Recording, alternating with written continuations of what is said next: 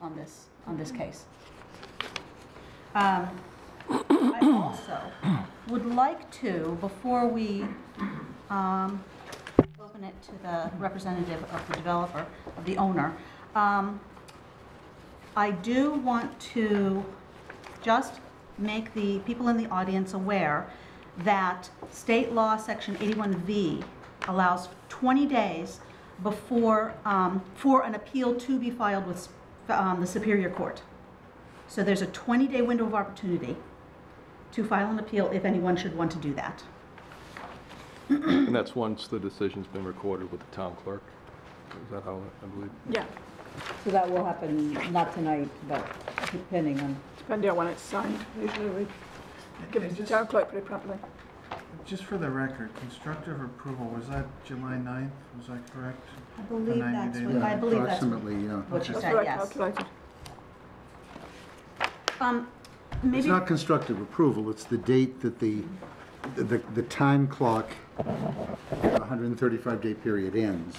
It doesn't mean it's constructive approval. That's at the initiative of the, the the proponent, the applicant. Glenn, could I, could I It's 90 days for the definitive plan, 135 included the appeal to you preliminary. to give the, the three um, sentence explanation of what constructive approval is? I'm sure that many people don't, aren't aware of what that is.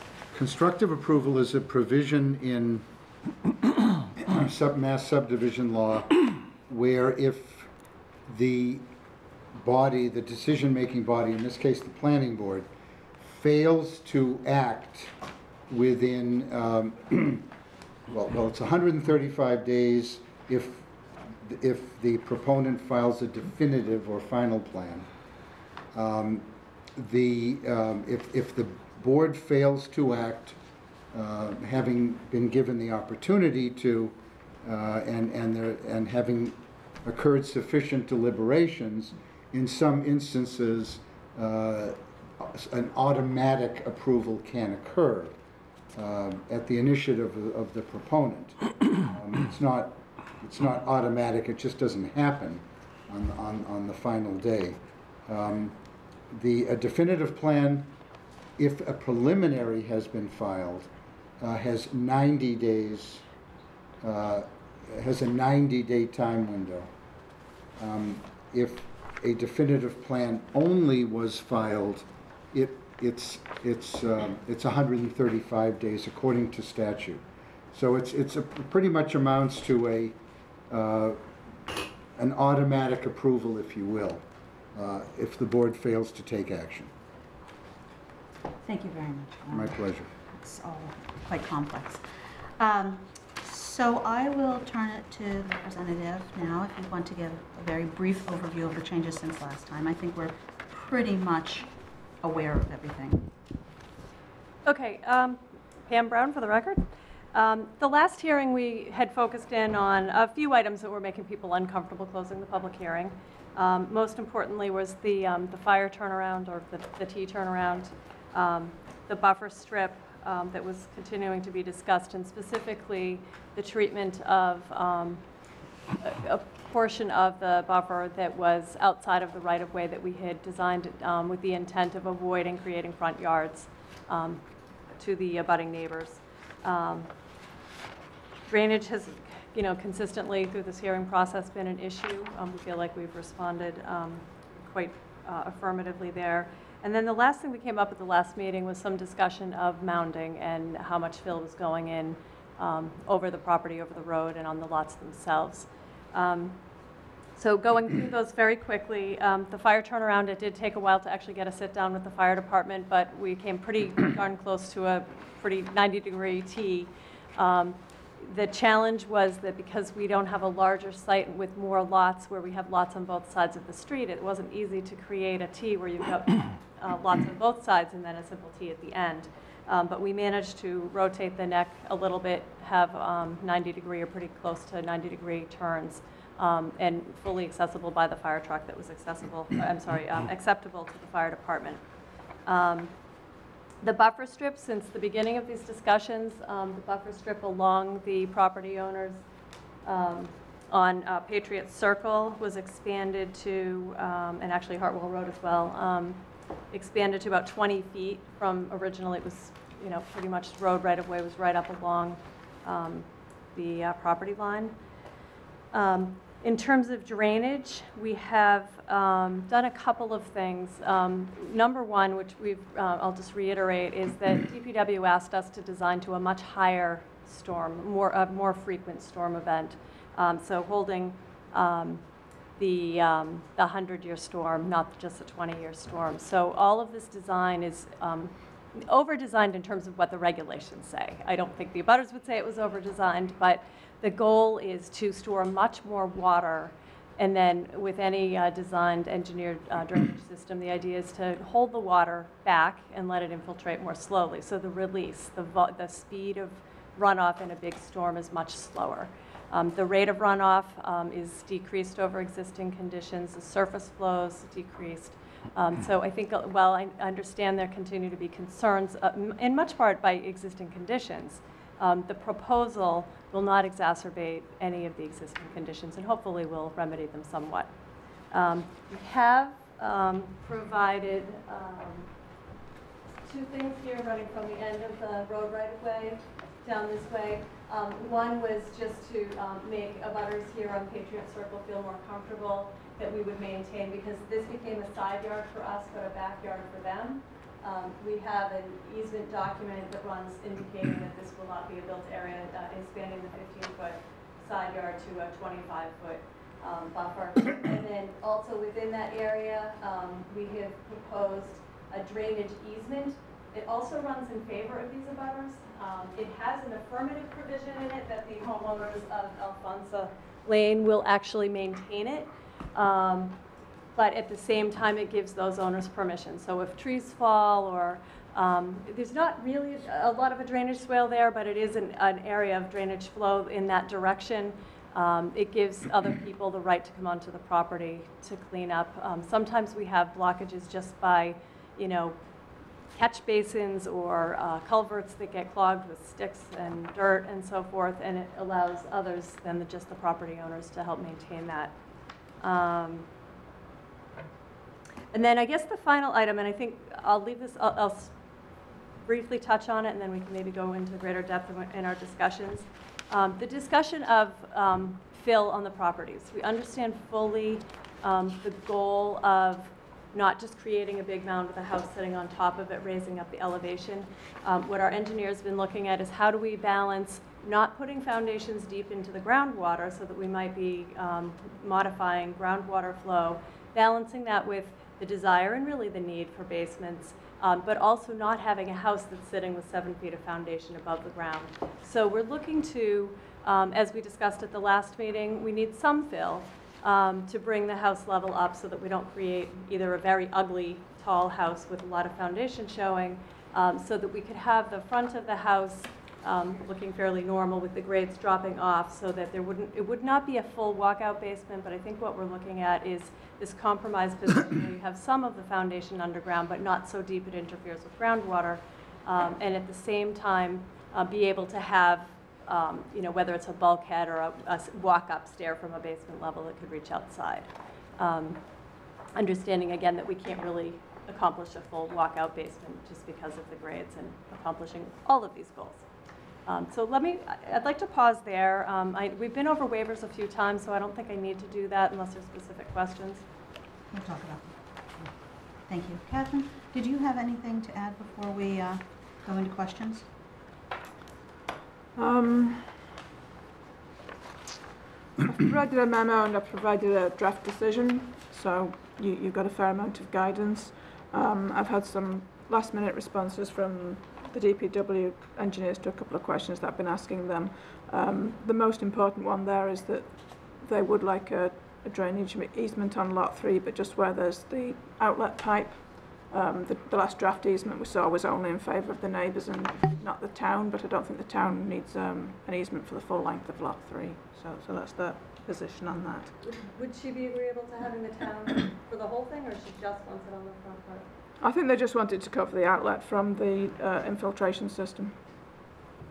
Because I don't think it would hurt to have everybody on the whole thing. I mean, they don't have to use it.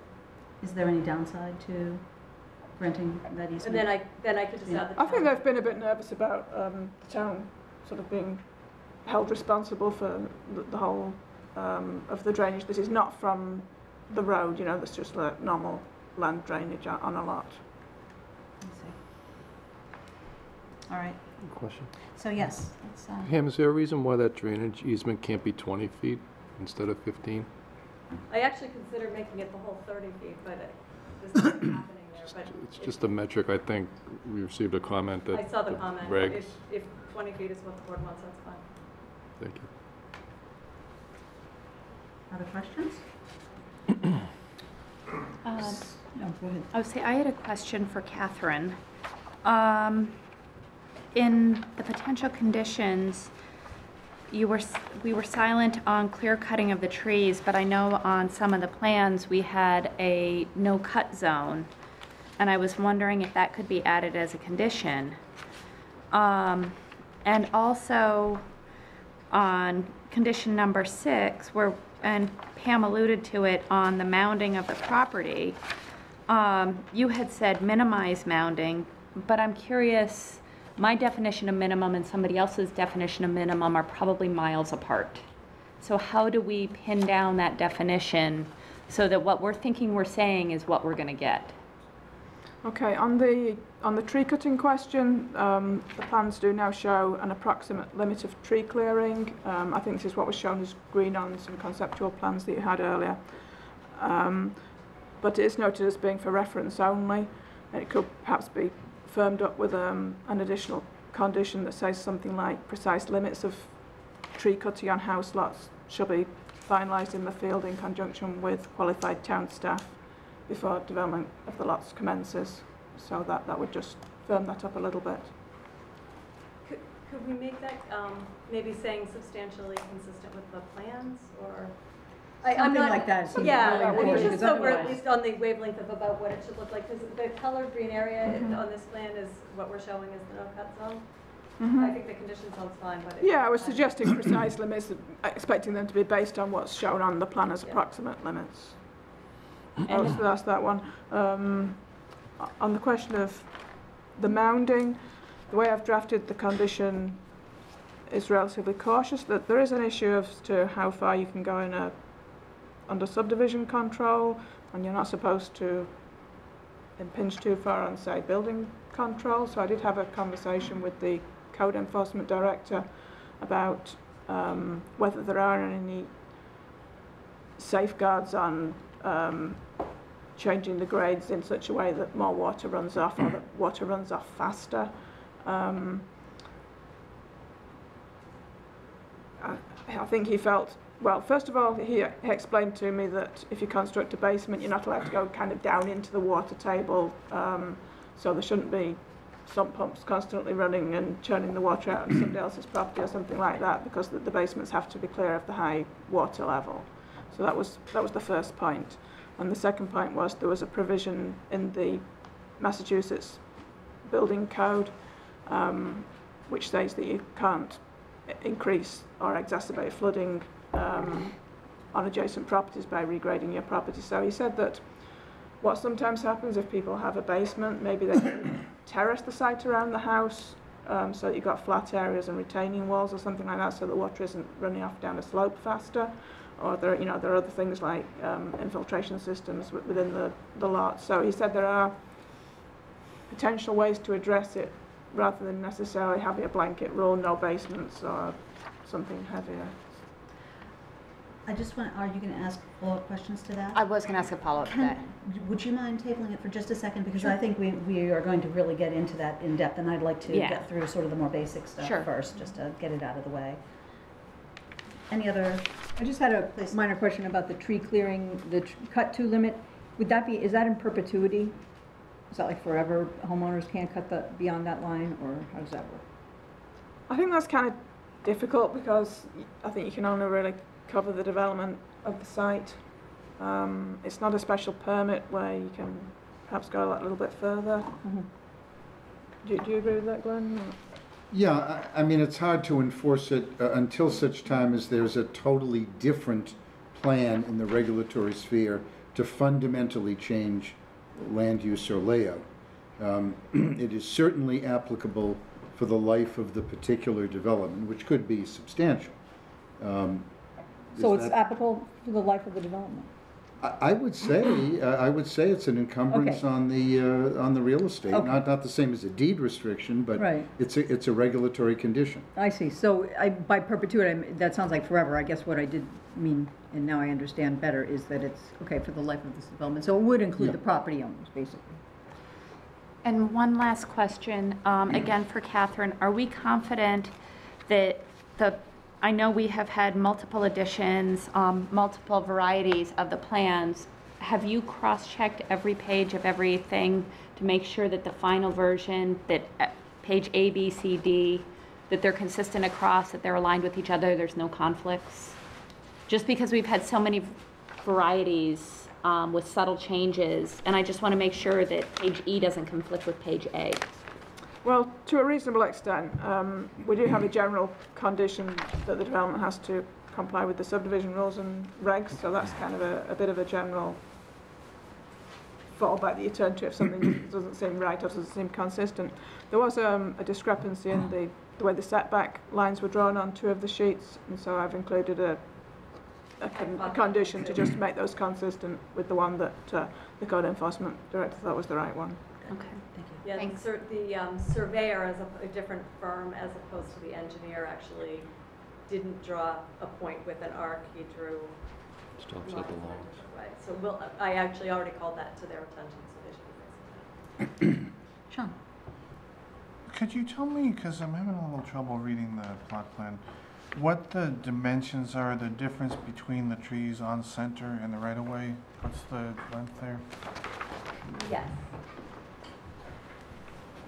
So, going this way, they're thirty feet. Okay. Um, so sixty feet approximately for these green dots on Pam? each side. Pam, could you stand on the other side so Yes, I'm sorry. residents can see? Um, So each of these um, green trees are the proposed street trees, both sides, and they're each 60 feet apart on center. They're staggered so that 30 feet away is the tree on the other side. I did confirm with DPW that this was consistent with what they wanted. The last meeting, we heard a request that um, for one reason or another, maybe even waiver of the sidewalk, we did some more trees. So I've actually got some other, these red dots are additional, and we can't get it too tight. Um, But I've proposed um, a combination of any one or more of white pine, rhododendron, and I think a spruce that we were suggesting keeping evergreens, but um, adding some additional trees here um, in these locations. Um, But to add to the buffer, and remember, this is a 20-foot wide green strip, so we've got um, depth there to add trees. Um, And I think that was helping um, the neighbors. And then in addition to that, um, these other um, scattered um, dots are existing trees that are to be preserved. Okay, I, I believe that there were some neighbor concerns, and I know we'll get to neighbor comments about having it thirty feet along each side of the road, um, which certainly doesn't seem like it's too close so that it would cause the trees to grow into each other. Catherine? Yeah, if I could comment on the, the trees. Um, in the subdivision rules and regs, it does talk, talk about them being 30 feet apart on each side of the road. Um, on the other hand, the board raised a question about, well, what species of trees are we talking about? Because, in, you know, in practical and good landscaping terms, th- that makes a big difference. Um, and the, the engineers s- say that for this kind of tree, about 50 feet on centre is, is reasonable.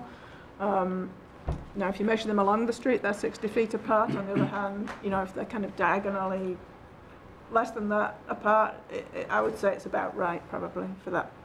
For what they're saying about the, the suitable planting space for those trees. Okay, so you're saying that the way it is now on that plan is about right, given those types of trees, is that right?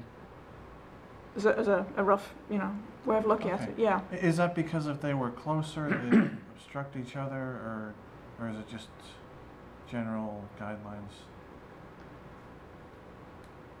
Well, uh, yeah, like I said, the DPW advises about 50 feet apart is about right for those kinds of trees. Um, so this seems to be about in that, in that region.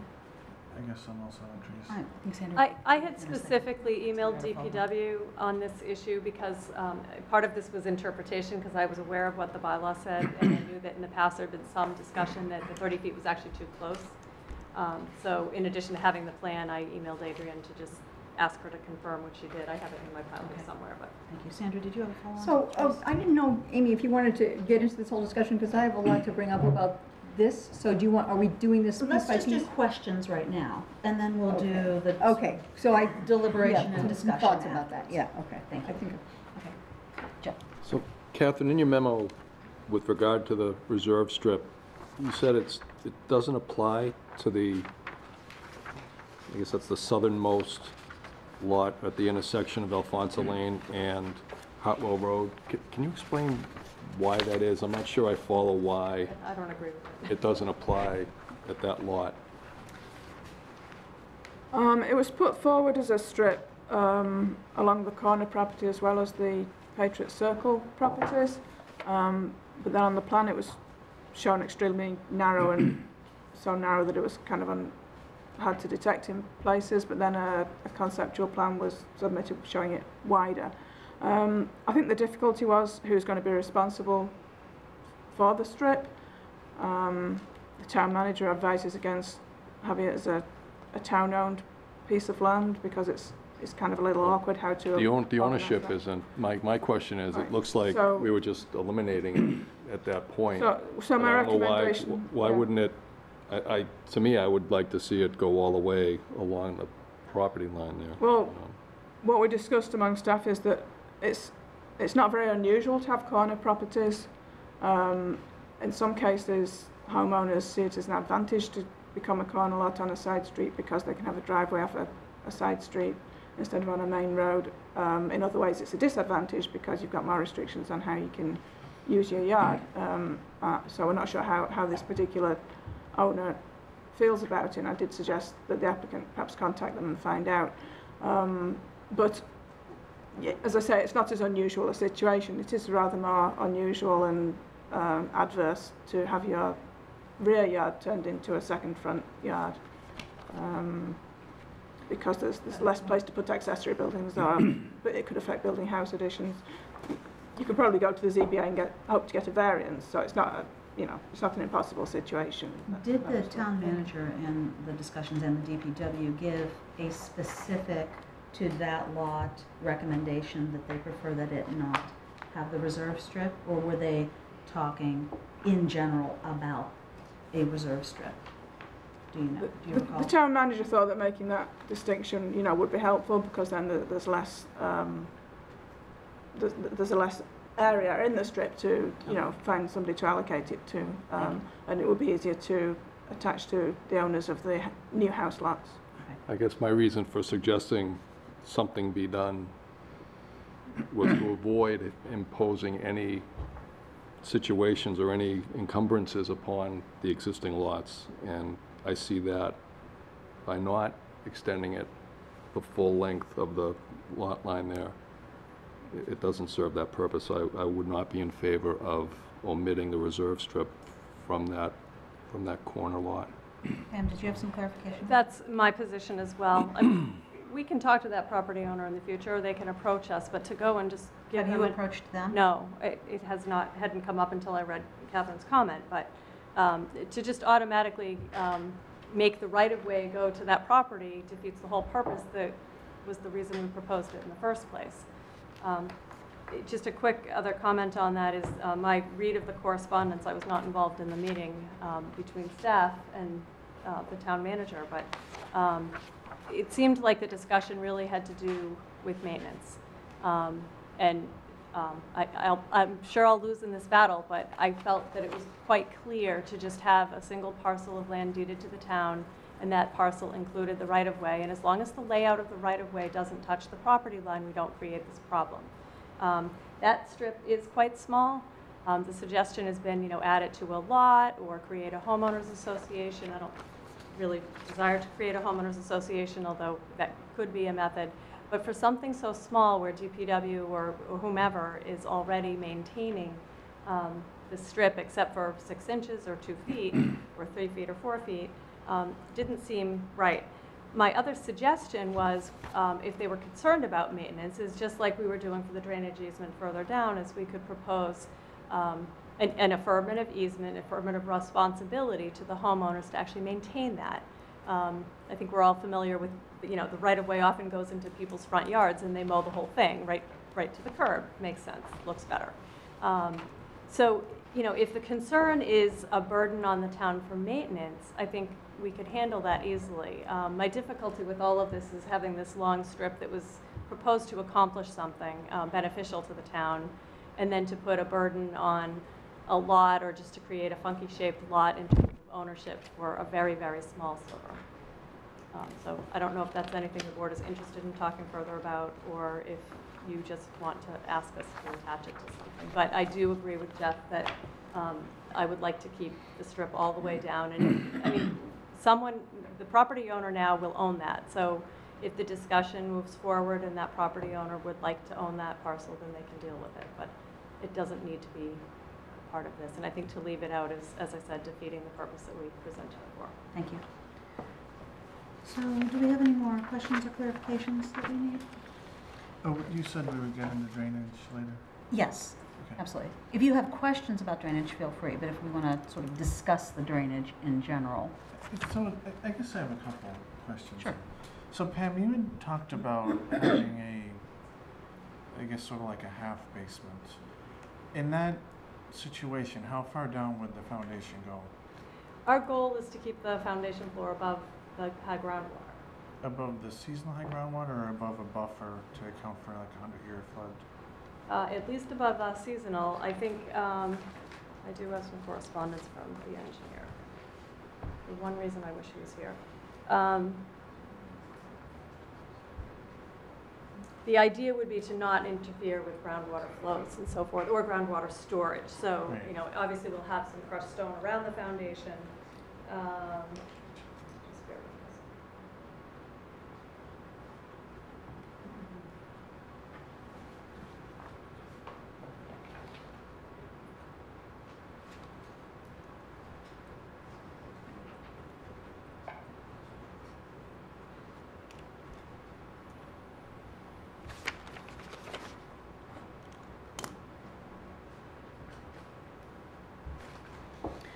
Yeah, I think he's talking about actually the buffer, so we wouldn't be sitting on um, the ground, the uh, high groundwater level, but somewhat higher than it. So the seasonal high groundwater level we established was four feet below grade, right? Well, we're talking elevation, so we were at elevation 117. We were talking about potentially putting um, a foundation at 119. And the proposal, just to clarify, isn't to have half a basement, but it's half, to have like about half below ground Yeah. and half above. I guess, um, I, I don't wanna get into discussion, but I, I'm kind of wondering where a basement's gonna fit. If we look at below the ele, be, there's four feet of space between the elevation and seasonal high groundwater. And then you account for the fact that there's a foundation floor and the bottom of the foundation and then a buffer. It, it almost sounds like you're talking about a slab at that point. I'm not sure, I haven't the report. I thought we had gotten on that, but, um, I thought it was more like six, so we have, I, I think we can go down about five feet and stay within a buffer of groundwater elevation. I think that was what the discussion here was. Unless uh, people can correct me if I'm wrong, but I thought it was four feet was the seasonal high groundwater. So going down there would guarantee you sump pumps and, and the problem with sump pumps is that you're essentially then precluding the groundwater from occupying this volume of space. And the homeowner can choose to put the sump pumps wherever. I, I- I'll talk about this more in discussion, but I, I I guess I'm concerned, and it sounds like there's still some fuzziness about exactly how it's gonna work. I had a question for Catherine related to the mounding, um, and it is a bit of a follow-up. If we were to approve this development, and if the developer were to mound the property, and if the neighbors were to see an increase of water on their property or flooding on their property or flooding in their basement, what is their recourse? Do they sue the developer? Do they sue the town? What is their recourse and how do they, I mean, it's kind of the crux of the question, but what's, I, you know, I think we're all concerned with changing the topography. And if she, if they raise the property three to four feet and it goes like that, well, the guy right here is gonna get my water. I think that would, because there's this provision in the building code, hopefully that will be reviewed at the time that they apply to But- construct the house. But um, what if it based gets on the wrong? plans. What if they get, what if we Right. get, what if we get it wrong? And they get increased water, then what? Well, there could possibly be a, you know, a private nuisance case or something like that, and they might have to rectify the um, infiltration provisions or the grading and terracing or whatever on the property then. And would that be to the individual buyers Is or that- to the developer? Yeah, is it, do they sue their, their neighbor, do they sue the developer? I guess whoever, whoever owns it at the time. As a practical matter, many neighborhoods in many towns have flooding problems long after the reg, after the subdivision is done, long after the developer has departed. And this, and uh, inevitably, they come after the town, if not i- in the strictly legal sense, they, the, the town is the, they say, do something about it. And and it happens everywhere, it happens all the time. Um, Even, even beyond issues of bringing lawsuits. Thank you. So- Pam, did you have something Well, briefly the- to add to One that? comment was, Sorry. again, understanding that we don't want to build a mountain.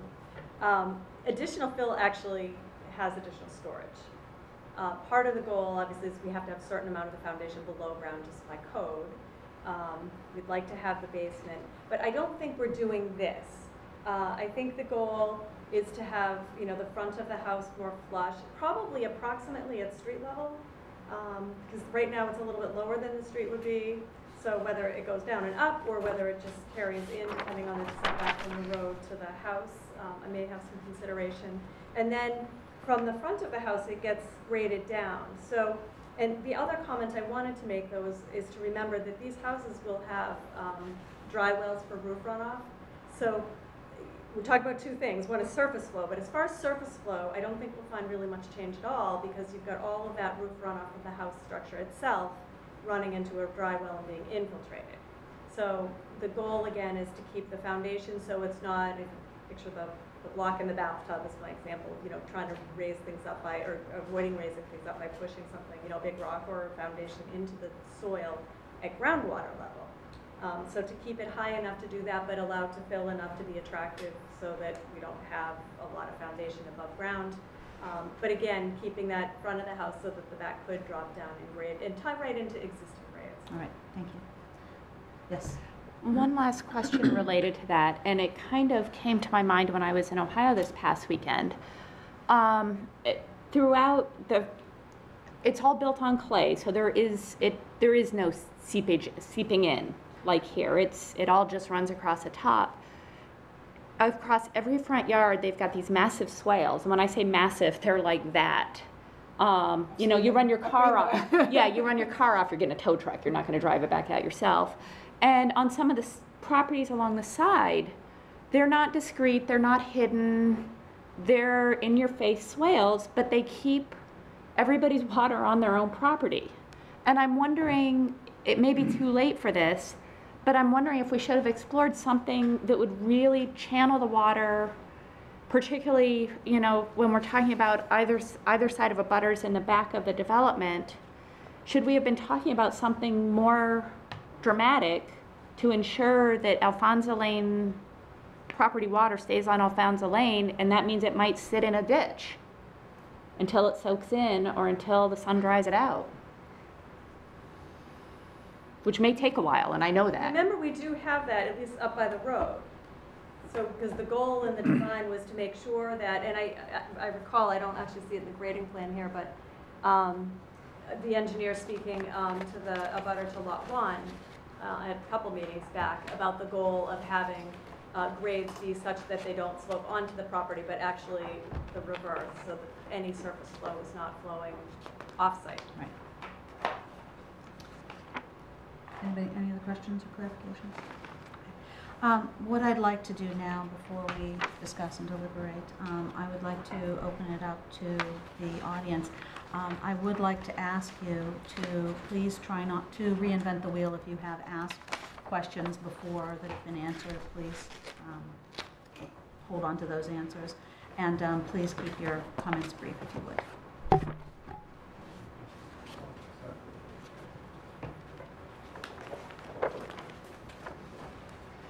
And remember to state your name. Um, Jeffrey, 11 Patriot Circle. I had a couple things I want to touch on, I'll try and be brief. Um, The first is the drainage issue that we've been talking about.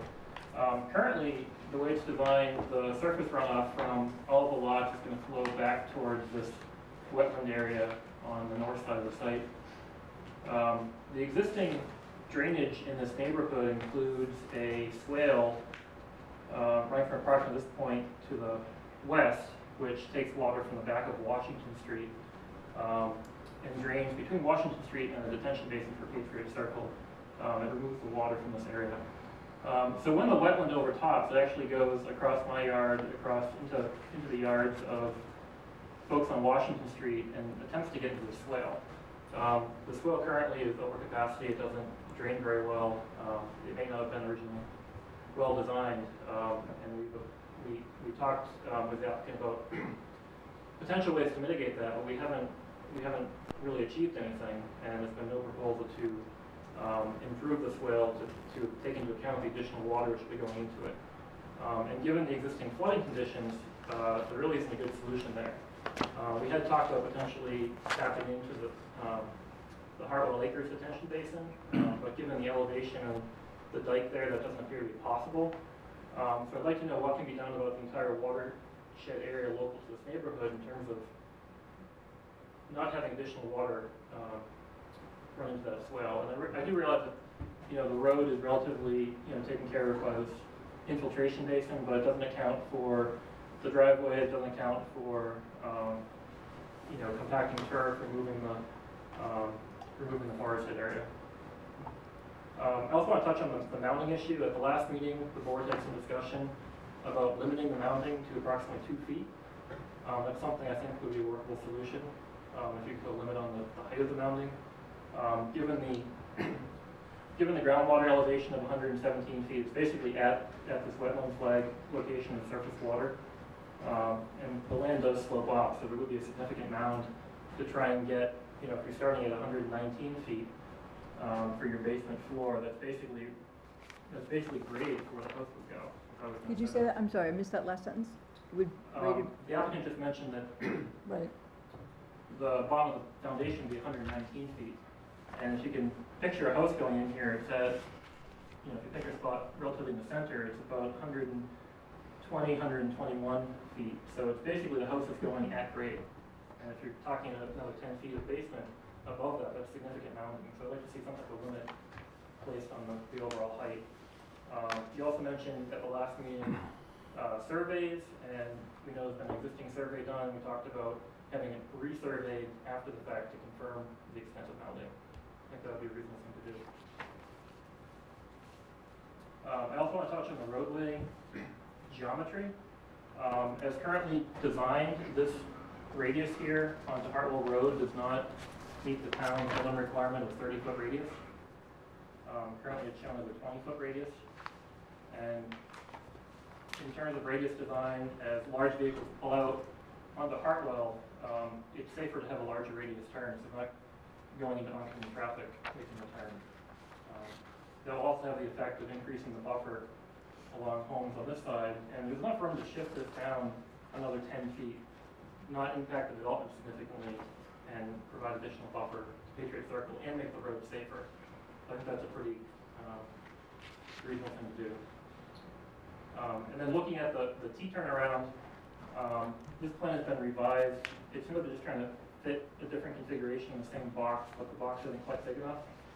Um, the end of the road here is only about ten feet from the, uh, the fence of one of the butters on Patriot Circle.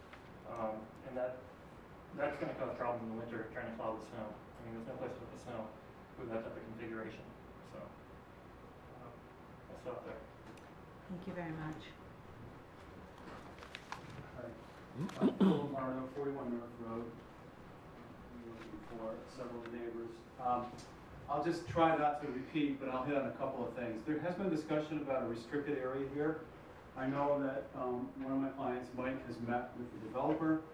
Um, We just cannot seem to get the guy to commit to where he's going to put his house. And um, we really believe that this buffer could be extended. We also believe that the buffer could be a real buffer because we haven't really been- had a commitment yet as to what can go inside. There was discussion about sheds and other obstructions. We really feel that should be a no-touch zone, and that can really get extended out. There's plenty of room to site a a reasonable house. Um, We really need a- a better worded restriction, and it needs to be a- a larger buffer area. That dovetails into my next comment. I, I think if this were a site plan review process or some other process, I'm not sure you would look at this project until you knew where the foundations were gonna go. I'm not sure a drainage report is done until you know where the foundations are gonna be, how high the mountain is. You spent a lot of time talking about that and speculating about that. You don't have a final report. So we don't know what the impact is gonna be. We don't know, um, where they're gonna put the driveway, how big is the house? Are they gonna have sump pumps? Where are they gonna go? Um, So I think that, that really needs, it- it begs, it cries out for the developer to tell you where the foundations are gonna be, where the driveways are gonna be. Okay? Um, This T is, again, as, as Andy stated, is too close to the Savix property. It doesn't have to be that close, it can be moved away. There's, there's no justification for the radius waiver. There's plenty of property here. This, this is two houses right now. It's gonna be one house. So this, this house has gotten along just fine with what looks to be a property line here. Now all of a sudden it's gonna have a property line here. So I, I don't think, I, I can't quite understand why this road can't be moved, at least to accommodate that, if not further along as Andy said.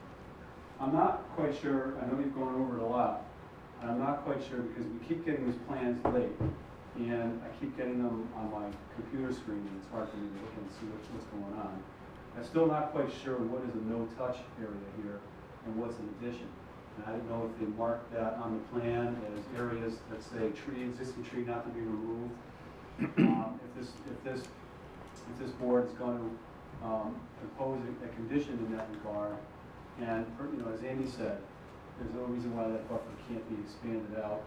Um, I, I don't think we lose a lot, are twenty-five thousand square foot lots. No reason why this buffer can't be expanded, we've talked about that several times. If I'm missing anything, let me know, I think that's, that's simple.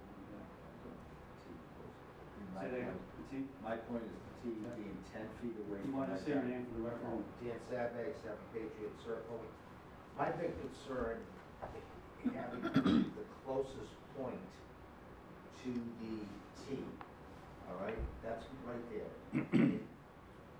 Mr. Cohen last meeting brought up a point, and it hit me, and it stayed with me.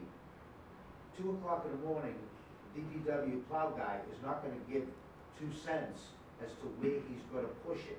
And he's gonna push it off the tee, and the truck's gonna go off the tee, and where is the stuff gonna go?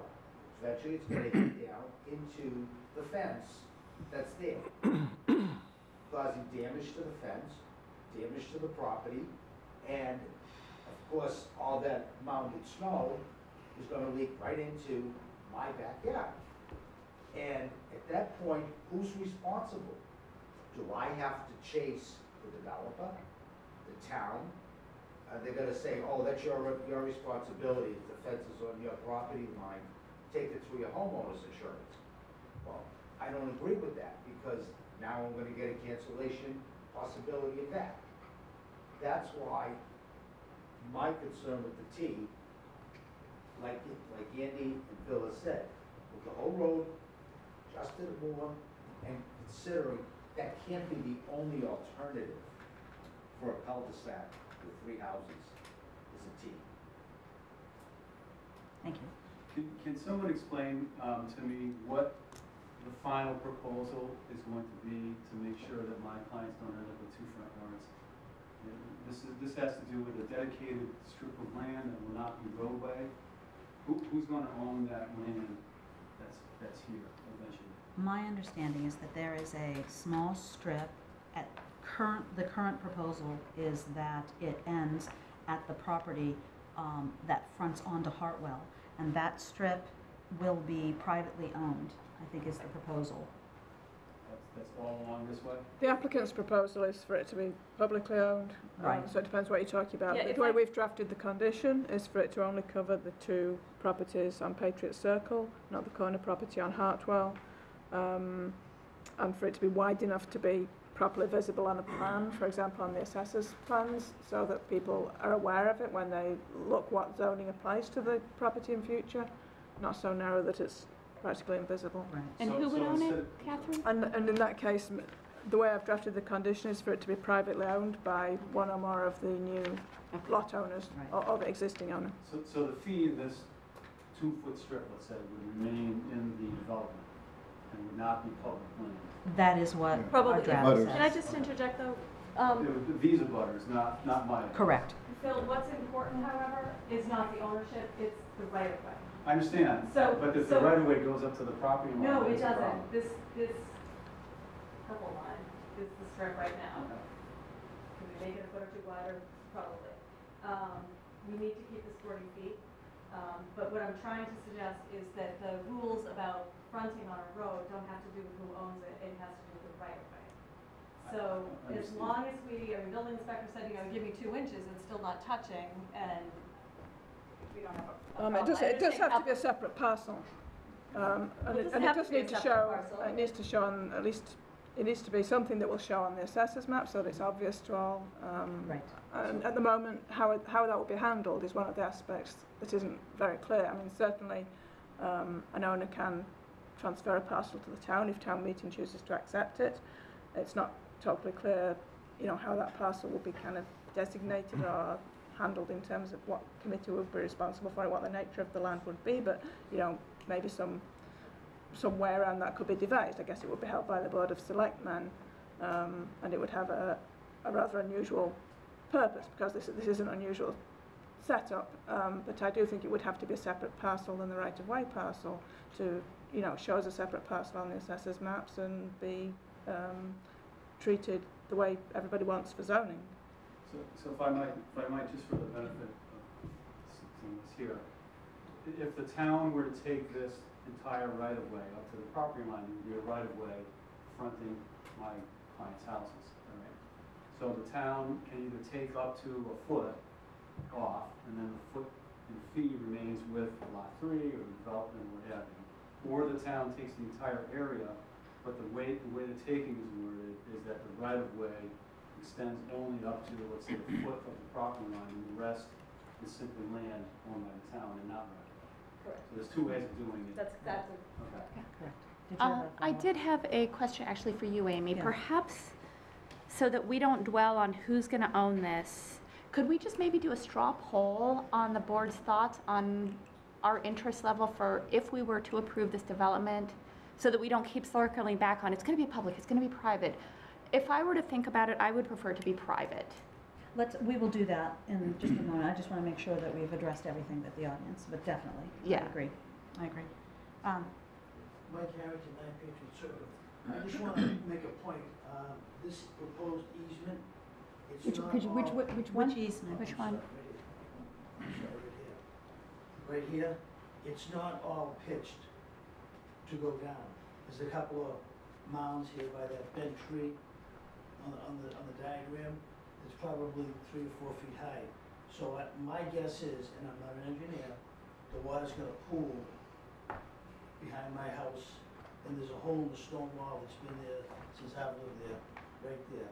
And you can see, yeah, you can see the elevations on the, on the drawings. Thank you.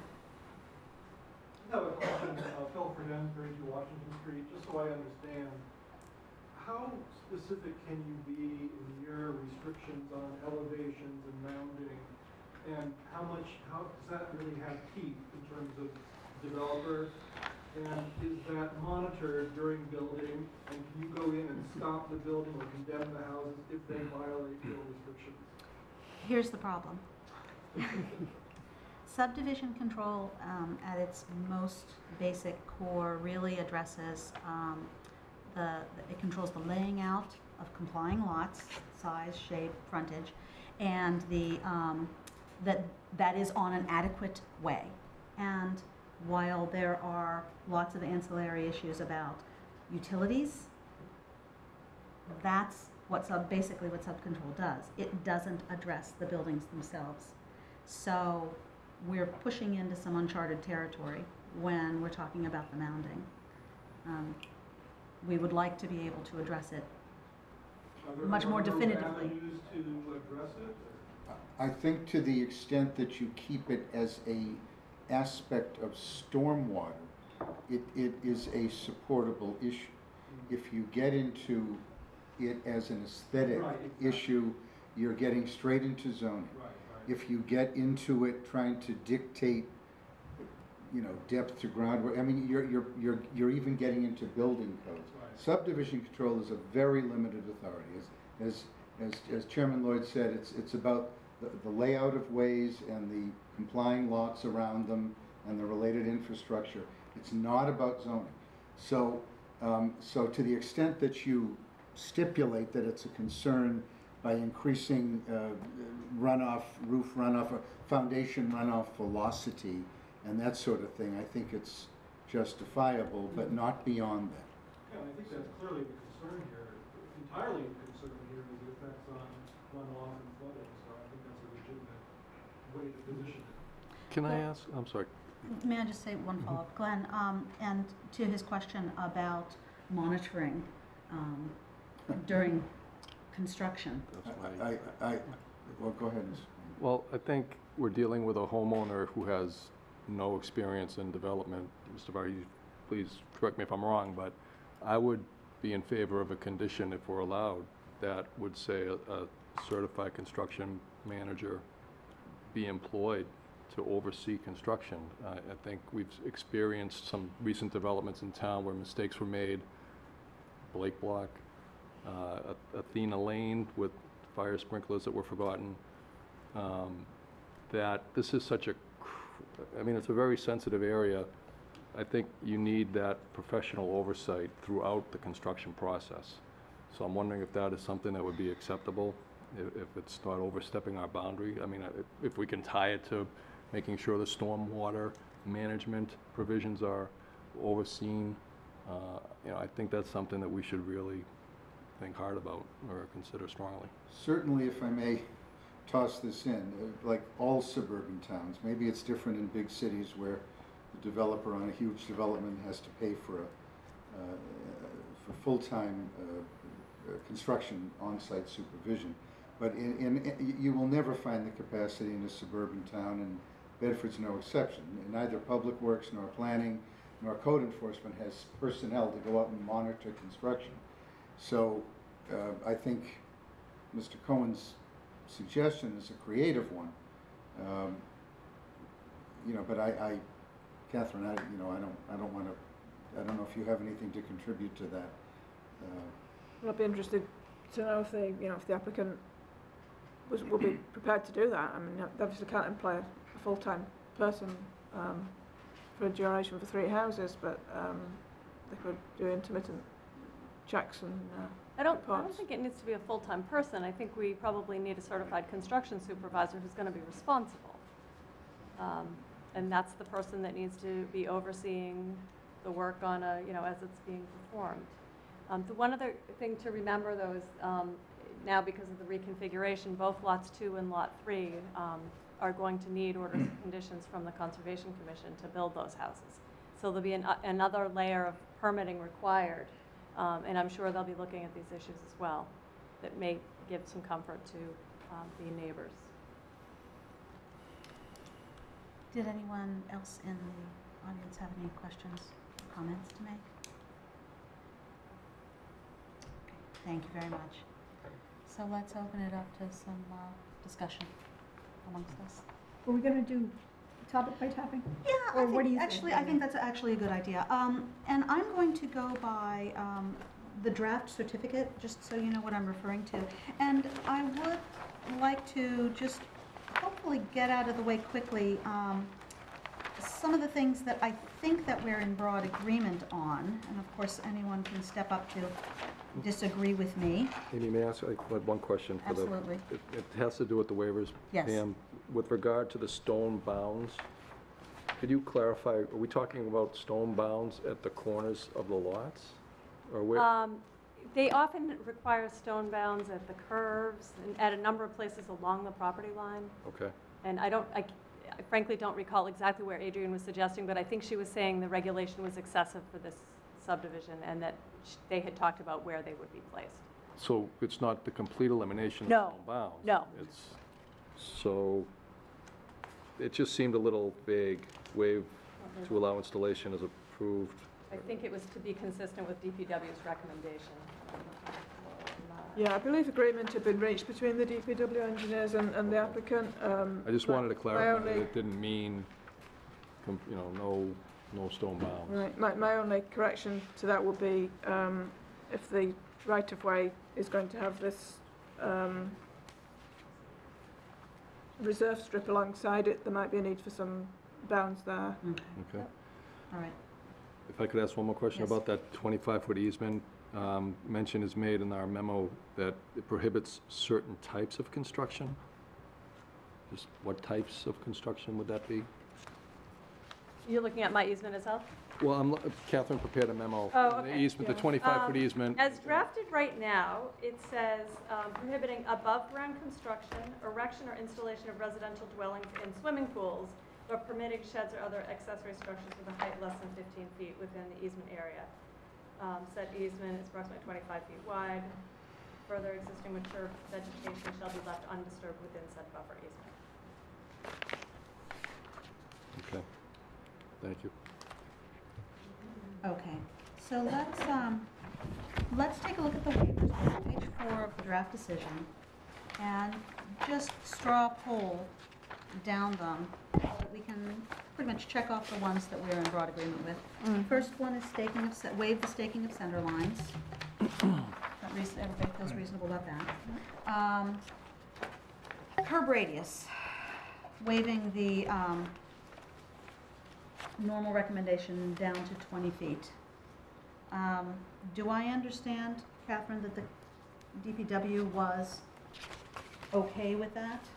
Well, their advice was to demonstrate that vehicles wouldn't run over the curb, um, and the applicant provided the turning diagrams, which, which you looked at. The board had some questions about exactly what vehicles they were using.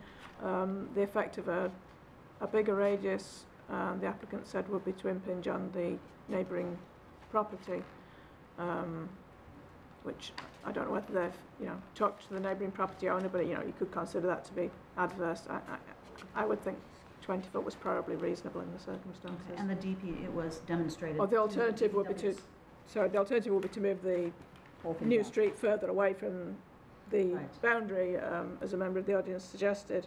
Um, but it is already, um, at a, at a reasonable distance, I would say.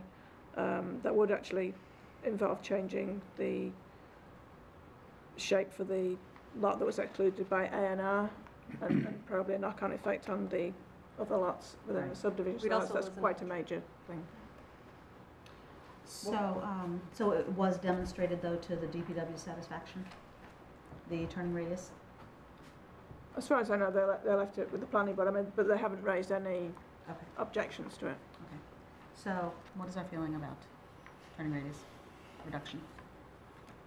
I'm sorry, you're asking us whether we were okay with I'm that? just, yeah, straw Yeah. poll or whether we really need to discuss that further. I'm not wild about it, but I'll, I'll let it go. Yeah, I Ditto. I I agree with that, Sam- Sandra. Um, catch basins waived to allow on one side only. Fine with that. DPW was fine with that. That's fine. Um, stone bounds that Jeff was talking about, the DPW was fine with that. Okay with that? Yeah. Uh, street width to twenty-two feet, Mhm. Mhm. I find that preferable, actually. Um, dead-end ways, exercise the board's discretion to allow a T turnaround. Do we still have outstanding issues with I- I the think T? there's still some concerns. Let's move to, um, the next one. Um, sidewalks, waive the construction of sidewalks, but require an easement, ten-foot easement for potential future. Mhm. Shade trees, waive to extent necessary to allow planting of new trees and retention of existing trees as proposed. That, that's up in the air for me. That's All up in the air for me. All right. Uh, Streetlights waive to, um, subject to provision of post, post lamps, which will be a condition. I'm okay with that. Everybody okay? I'm actually probably not gonna support that, just because DPW is pretty strong about that, and, and they're gonna make a recommendation to the selectmen about accepting the street, and they're gonna say we need a street lights, so I, I just don't, I'm just unsure how that's going to play out, so I'm gonna not support that, but I Okay. respect that the rest of the board will probably support that. Thank you. And, um, and then the allow the reserve strip, and I think we will definitely hold that for discussion. Well, I, I support it. I guess the discussion is Who owns it? who owns it. Oh, I yeah, think well, it's- uh, true. So, I guess I, I I'm okay with it, feel the but, same way. yeah, it's Right, just who owns it. ownership is the issue. Sandra? Yeah. Yeah.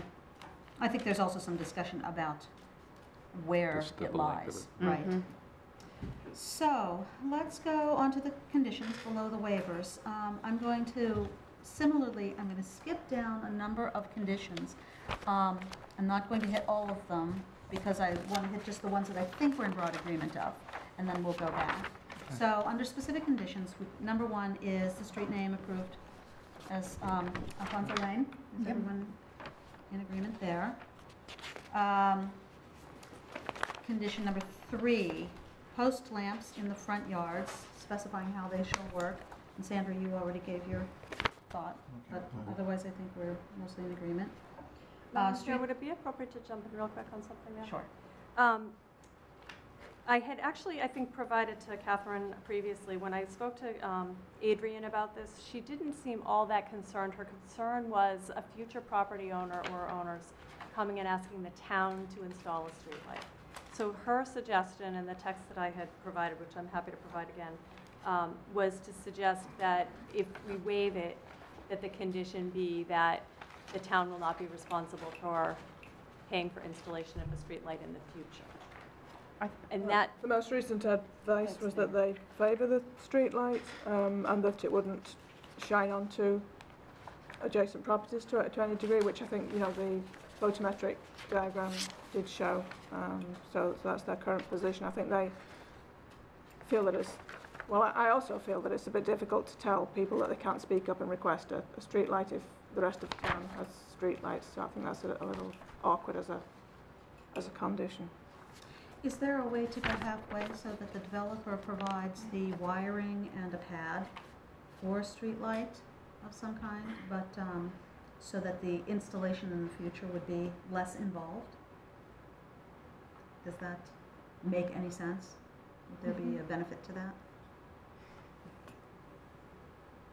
I'm not sure, it's all a bit indecisive. I, I was in favour of the, s- the street light for, for simplest inconsistency with elsewhere in town, given that it did seem to have a good cut-off design. Um, but, you know, the, the board. I don't think the concern was that the streetlight shone over onto properties. It's the fact you look at the streetlight.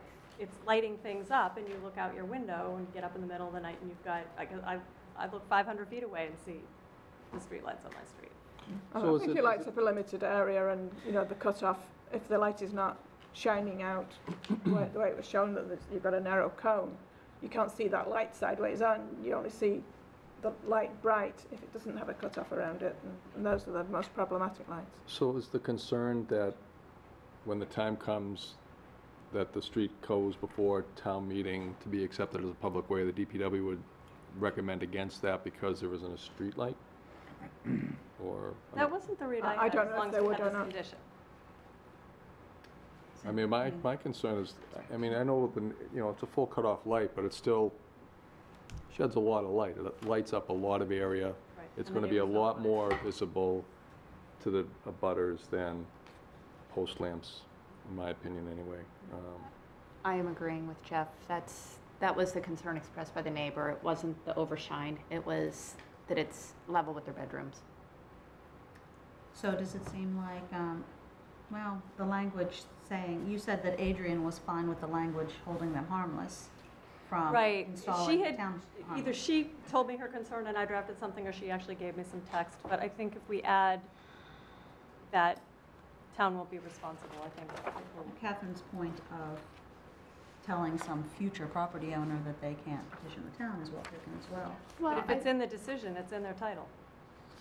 You, yeah, buy it with buyer beware, sort of, you know? I have another question. Yeah. Pam, Pam's made reference a couple of times to languages that she's offered. Is there, do we have that? Let me see I I don't- can find the I'm not seeing that. I think that's not the latest DPW memo, which I think you did have a copy of. DPW memo have? Yeah. I think we got it recent tonight. one. Here when we, Um, the one from the twenty-second. It's a one-page thing, we got it Yeah. tonight. Yeah. it just says that DPW maintains that the town's standard LED cutoff streetlight should be No, but required Pam, on Pam has said you offered some language for the decision. Let me see. There's some- some suggestions for the decision. okay. Because my question is, is, is that, we have that? Is that in your? Well, Pam is, well, Pam is looking for that, let's move along. Yeah. I I didn't offer a language for. Um, a street sign shall be installed by the developer, Yep. yes, we're in agreement with that? mhm. In, in accordance with town standards? Is Good that- point. Yeah. Yep.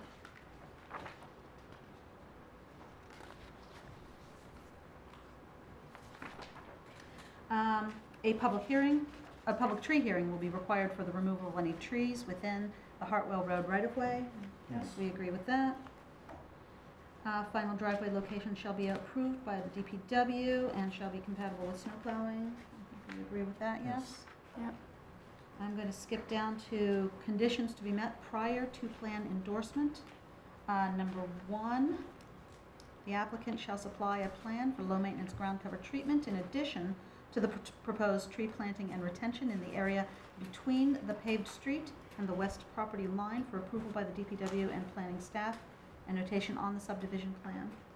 Do you agree agree with Okay. that? Yes? Yep. Um, Number two, the front yard setback for Lot 2 shall be amended on sheet C2 lotting plan to accord with that shown on sheet 3, C3, that is for consistency. Mhm. You fine with that? Um, The applicant shall supply an operations, operation and maintenance plan for element, the stormwater element management system and be responsible for maintenance until the street is accepted by the town. I'm in agreement with Mhm. that. Um, The applicant shall supply copies of executed easements consisting of the 15-foot drainage easement on Lot 3, the 25-foot wide buffer easement on Lot 3, 10-foot wide sidewalk easement on Lot 1 and 57 Hartwell, and the drainage easement on the reserve strip as required. Can we make that I think- fifteen foot twenty? Yeah, that's what I was gonna say. So, Chair, could I just Yes, also please. call out um, that I mentioned that the DPW would like a drainage easement just for the outlet um, from the infiltration system on lot three. We agree with that. Yep. On which one, which item? Four, item number four, the first, uh, it's not a, it's not bulleted, but the first item under number four, Yes, uh, where it says fifteen foot wide drainage easement would be twenty foot. oh, 20, okay, thank you. And are we in broad agreement on that? Um, I think that I need to see the, the, I need to think about the language for the 20-foot buffer easement. Um, I need to look at that a little more closely, um, because it sounds like there's some issues that the um, abutters still have with that. If there's sheds allowed or potential stuff allowed on there, I think that they're looking for a no-touch zone. Right, in addition to. So we can hold that. So we're, we'll look at that. Please don't forget my trees, my no-cut zone. Um, It's not in the memo, in the Oh. conditions. oh, so with the, the no-cut zone, Catherine, do you have that one to add a condition of specifying for consistency the no-cut zone? And that's now we, on the- we-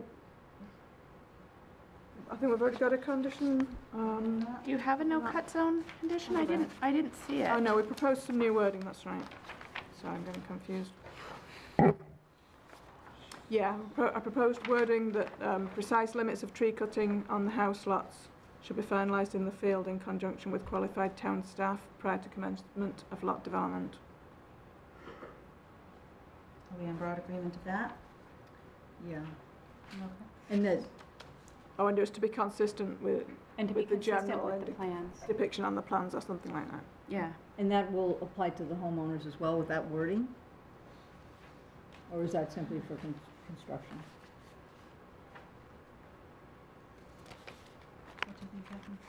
Um, well, it just says limits of tree cutting. On But, um, but trying to can, remember but what the can we wording make is. it, as Glenn had Um, said, I- It is shown on the plans, Yeah, I'm just trying to perhaps what the not with wording great was. Clarity, but those, as the recording instrument, that has some weight Mm-hmm. backed by the conditions, so certainly it applies to construction, which is where the damage is usually done. The Mm-hmm. homeowners want to, usually want to keep the trees. And, but I would say, yes, it applies um, beyond that, um, uh, simply because it's, it's on a recorded plan backed by a certificate of action. It might need note twenty to be amended, maybe to delete for reference only, and just leave it as limit of tree clearing associated with the development of future homes is shown, Good. and then add the Yeah. condition. yeah. So could that you- gets could you added to make- the Yeah, condition? could you I add could that, put Catherine, delete to for the reference condition? only. Um, We are at, prior to plan endorsement condition number five, uh, the applicant shall supply an- a covenant to secure proper construction of the way, the utilities, conveyance of the lots, et cetera, et cetera, under the Bedford rules. Could I Yes, ask a please. question, uh, Catherine or, or anyone? Um, Are you planning to place a, a right-of-way covenant on this upon recording, or? The- The way it's been- often been done here in the past, a covenant is placed, the usual uh, subdivision covenant, and uh, in the past, it- when that is, when the board agrees to release that, it is replaced by an acceptable form of security. Doesn't have to work that way under the statute. It could be required immediately, but uh, that's the way it's been done in the past. So uh, we might want to clar, we might want to mention a covenant and the intent to provide a, uh, you know, an asset, a secure, as a security. Uh, Be a little more precise, especially since more and more forms of security are becoming problematic in general. That, that is just the way it's worded right now, but I'd be interested to hear what the applicant proposes in terms of the, the security. I can't be certain, but um, I think every subdivision I've been involved in, we've done a covenant first and then replaced it with other uh, performance guarantee. Um, it- It's at the time that we want a lot released for building that, you know, so someone could get in and get the road started and pay for it, and then the bond would be lower at the time that someone wanted to start building the lots. The way, the way I've worded it at the moment covers that kind of approach. I, I agree with Glenn, I mean, the covenant's optional. We could jump straight to some kind of performance guarantee. Um, Glenn, Glenn, are you comfortable with this wording, or should, we- can you tweak it Well, for us? Uh, The the wording's fine. I- It doesn't mention a covenant, and you can stipulate that. Postment of Um, recorded But it says shall, and I think it should say may. Uh, uh, Well, I yeah. think shall's a pretty clear verb. Yeah, that's, that's my Right, point. but but I'm sorry, I didn't express that. that's required in Making the it covenant rather than allowing someone to come in and just say, we're just gonna post a bond. Or, you know, give you a passbook. It does mention covenant, but, Mm-hmm. but not So- mandatorily. So you're saying that the covenant should not be mandatory? I, I, well, I did not express it well. The covenant is, is called out here, um, but the question is, do you want to stipulate that it, it, it shall be mandatorily placed on, on the real estate uh, as a deed restriction, and then followed by, by its replacement by, by a negotiable asset or other acceptable form of security under the subdivision control statute? I am in favor of what is the most, that gives us the most insurance. Yeah, we could firm that up and say a covenant shall be placed on the property, um, and then leave in place the fact that they can uh, re- replace it with a, or they, Okay. they must replace it with a form of asset when they come to release the lot. Right. Okay. So, are we in broad, yes? Yeah, um, just as a, a condition, did we want to add Jeff's notion of some kind of professional oversight? Yeah, I would Mhm. want that in Um, there. let's add that as a Okay, separate condition, I, I Okay, yeah. think. it would be General better. condition. Concerns about that, right? I, I, if you're going to go there, Yes. which is fine, but my, my only concern is you need to put some boundaries Right. around that. First of all, it is, it is intended to be almost like a peer reviewer Right. who's whose principal and primary interest is to the town of Bedford. So the GC is not simultaneously. Yeah, the- uh, Right. so I think that's what you were suggesting. uh, Right, it wouldn't be someone, the GC would not hire this person, this would be, Right. uh, you know, the property owner, the developer would Yeah. But I hire this think person, I mean. as, as requested by DPW, but I agree, we need to put some bounds around it, right? But wouldn't it be at the town's initiative, like what, what, what po- points we ask for that, you know? I mean, we can't just leave it completely open-ended. Yeah, I think, I think it's analogous to any kind of peer review or outside consultant. It has to be by mutual agreement of the parties. Um, The, the firm or individual chosen, and you also have to agree on a scope of effort and how, what constitutes enough, Right. but not excessive monitoring of construction progress. So it- I mean, I'm for just- me, it would be through, from site clearing through finished, finished grading. All right, Yeah, I'm focused on the stormwater for it. yeah. I mean, as it relates to the, to Yeah. That the makes sense. stormwater It- it- management. It might be hard to pin down in the certificate of action. You might just want to say, have Catherine write some language as appropriate and needed to, to, uh, to adequately monitor progress in stormwater management, construction of infrastructure. By a certified construction, I want, I want a licensed Yeah. professional doing this. I don't want, You don't want the brother? I don't want the contractor's cousin. Right. um, You want an independent project manager to exercise oversight ra- rather Yeah. than just somebody supervising the With a specific eye towards stormwater Storm- yeah. management and grading. Site to site development. Yeah. So it sounds like we're in broad agreement of that under general conditions. Yeah. Uh, we were in agreement with the issue of the covenant and, um, sure, Mhm. I just didn't officially, Yeah. thank you. That's my attempt at uh, conditions. Okay, let me, I'll get back to that. On general, under general conditions, number one, within 30 days of endorsement, certified copies, et cetera, et cetera, we agree Yeah, with that. that's, uh, Um, Two, construction of the way and ins- installation of utility shall be shown on final plans, except for variations that might be encountered, and planning board and DPW will be in on that, we agree on that. Um, So the, there's language in there that says, um, variations in site conditions that might be detrimental or encountered, they shall be notified to the planning board and Department of Public Works. Uh, Is there any, like when?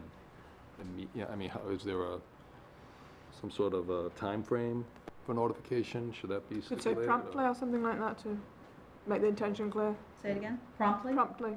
That, that, That would be Who fine with makes that. the decision on what is detrimental? Well, the point is that if they might be, they're supposed to notify it, and then you can decide if it is and what is to be done. That is, I mean, you can't you can't specify all the things that might go wrong. perhaps Right. a site professional. Is that part of, So, That, that would be I Jeff's wonder if guy. that could be your independent professional Right. doing that. Mhm. Yeah. That would be good. Okay, so we'll add promptly, but we're in broad agreement. Uh, Number three, the construction of the way and installation of municipal services will be five years from the, shall be completed. Yep. On number four, we're in agreement. Yep. And number four, if any conditions caused directly or indirectly by the developer arise, which might be detrimental to the subdivision or any adjacent area, it shall be corrected by the owner in a time frame determined by the planning board. I Yep. think we're in agreement with that. Yep. Okay, so, yes, There was, I thought I Please. saw something uh, with the fire department of the DPW about the final location of the fire hydrant. Is that something that needs to be That was the, clarified? yeah, that was the is water that in bef- here? before, not after, or for the, for the draining of, Not sure which one I'm looking at. It'll come with the building permit, because they'll sign off on the building permit. I don't mind it being in here as a condition, but, um, Is it, where, I it guess I, should be on is the it, plan. is it shown? no, it was in either Catherine's memo, or, yeah, I know exactly what Jeff's it's talking in the, about. no, it's in the email from the fire department. yeah, it was just So it isn't shown, it isn't by- shown on here then, right? Is that correct? Uh, there is a hydrant shown on here. 'cause they didn't tell us where they wanted it. I can see Here I it can is. see a, fa- a hydrant symbol here. It's Um, in and the s- um, Well, easterly utility part plan. of yeah, and it's at the end of the water line, so I think it's probably okay. The DPW have looked at Okay, these latest plans.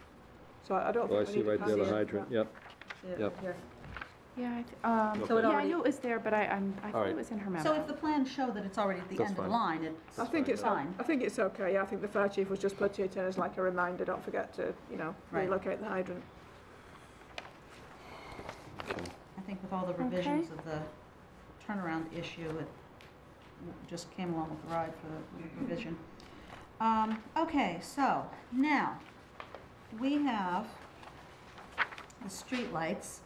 Pam's, um, proposed wording. The town of Bedford shall not be responsible for future installation of a streetlight, and if desired by residents of Alfonso Lane, said residents shall be responsible for the cost and installation of said lights.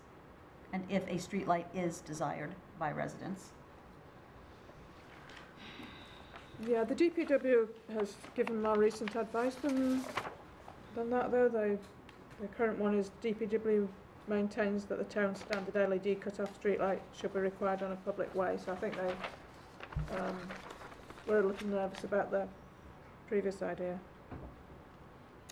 I guess I'm wondering, this isn't like a condo association, so how would that work? Usually you don't have something collectively on the residents of independent entities. Yeah. If somebody wanted a streetlight, it would be though. So it'd be if one person, Somebody would be asking the town. The presumption is if they all wanted it, they don't chip in to pay for it. okay, so if one person wanted it, they'd get it, but they'd have to pay for it themselves. And if it didn't turn into a public way?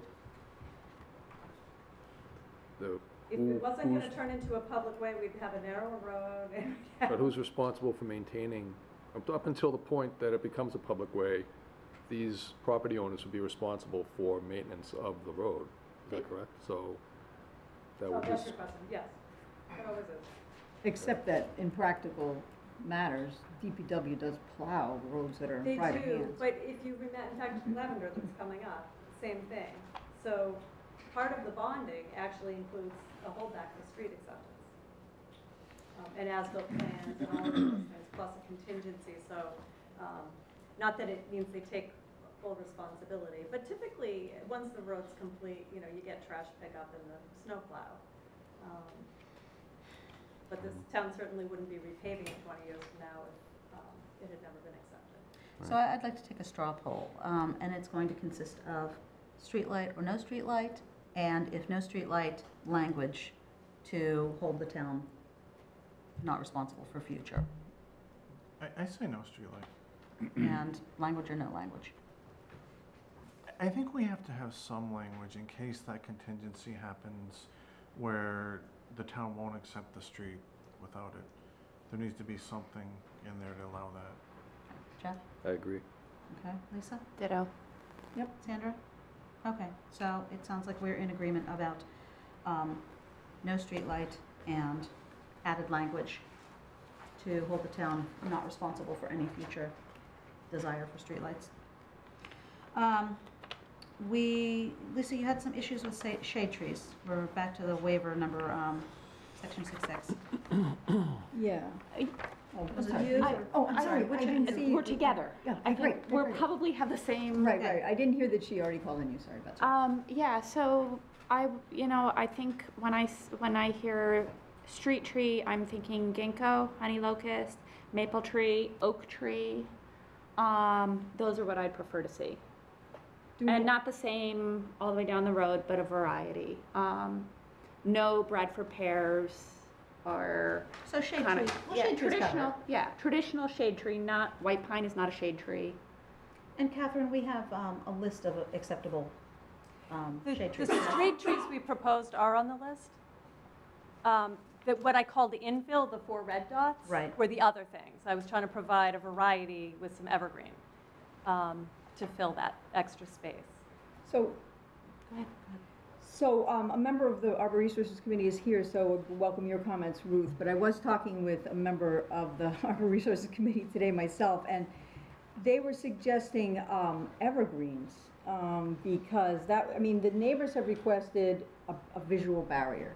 And so the, even though the street, street trees are, you know, beautiful when they're deciduous, you know, it's not gonna provide a winter barrier. So I think the neighbors were requesting something in between, which is what you were also referring to, Lisa. And so I guess one thought is, why not just do evergreens totally? Um, And I don't know if people have thoughts about that, and, and I don't know if Ruth, you want to comment on that, but.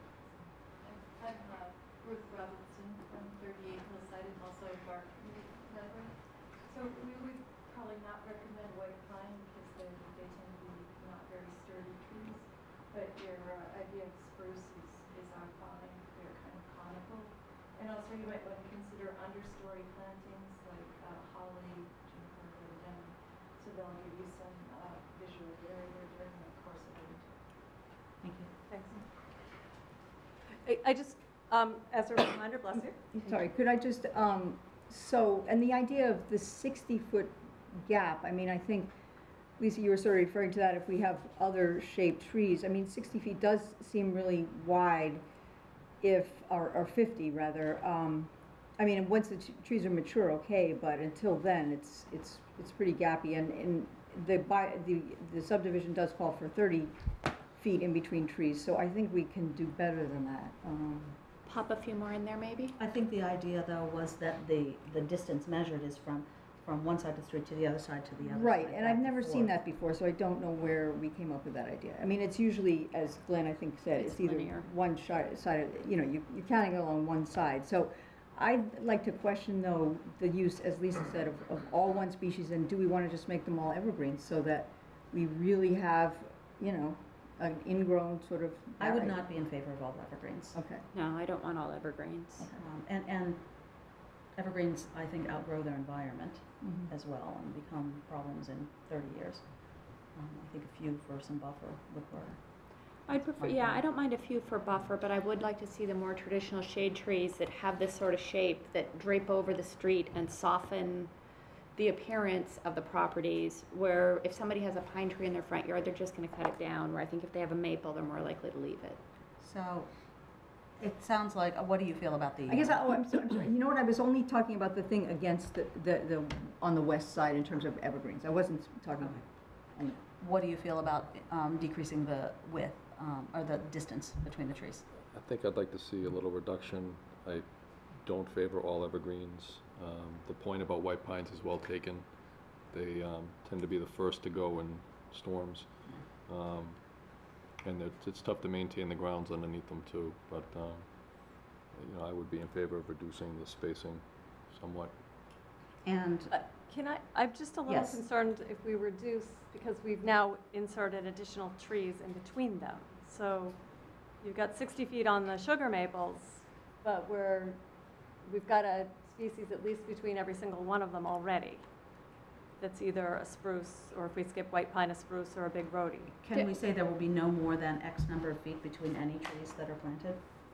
Does that make sense? Well, I guess I'm wondering down on the east side, i- instead of saying, well, we're gonna put one in between, would it not make sense to say we're gonna put one more in there and just respace them? Or put two more in there and respace them? So they're 60 feet apart now, and our bylaw says 30 feet. So can we just say, along the east side, they've got to be 30 feet apart? I like, Well, I'm, o- But yeah, I'm that's okay with, inconsistent with what DPW's been I'm saying about okay them being with forty feet, but I think sixty is too broad. It takes thirty years or forty years for them to mature. Okay. So uh, what's the compromise? Pop two more in there, pop one more in there, and just respace them? are we talking about which, Right now, I'm we're talking about the east side. east side, The okay. east I side. wa- I don't want to get too bogged down in this, yeah. but I, All right. But I think the measurement of tree to tree is the way to go. And, and and maybe forty is a compromise. 40, Fine. 40? All right. 40. So um, what I've got here are no white pines for the street trees themselves, no, no white pines at all. Um, The street trees themselves, not the buffer trees, need to be um, a mix of deciduous trees. We have an approved tree list of shade trees, and the spacing along the east side needs to be 40 feet. And so that's the amendment to the waiver. I'm sorry, did you give the spacing on the west side? And on the west Instead side, of- you're putting trees in between, so I think I'm we're fine with that. fine with that. Okay. Conical evergreens, is that Uh, what they're? yeah, as in, yeah. Not, not the same, but as the, as the break trees, as the in-between trees. Okay. Um, So let's talk about the reserve strip. We've got the shade trees, we're good. Because that is a waiver and a, an issue. Jeff, you are in favor of the reserve strip extending all the way to Hartwell? And be owned by the development, whether it's one lot or the combination of lots. Um, Maybe the, I know we have a regulation against creating odd-sized lots. So, uh, Lot 2 is already rather unique shaped, um, but um, I'm- I, I'm going to have to, you know, go along with the desire not to have it be town-owned in this Here's- case. I guess the fundamental question tho- then to us, first of all, is are we in favor of private ownership versus town ownership? Private? Private. Private. Private, okay. So we know we're going in that direction. And so the question is, does it extend to Hartwell? And, well, Yes. And it's up to, and it's up to the applicant to figure out the ownership. Yes, to Hartwell. Yes, to Hartwell. All right, that was easier than I thought. So that addresses the, um, the last of the waivers as well as, Can we ask the applicant, given the board's desire for it to be uh, not town-owned, is there a preference on your side of the table for how that would be divided? I don't think it's, uh, to divide, it's even worse. Yeah, so just gi- I- assign it to one I mean, lot, I guess I just run it with lot three. lot three. okay.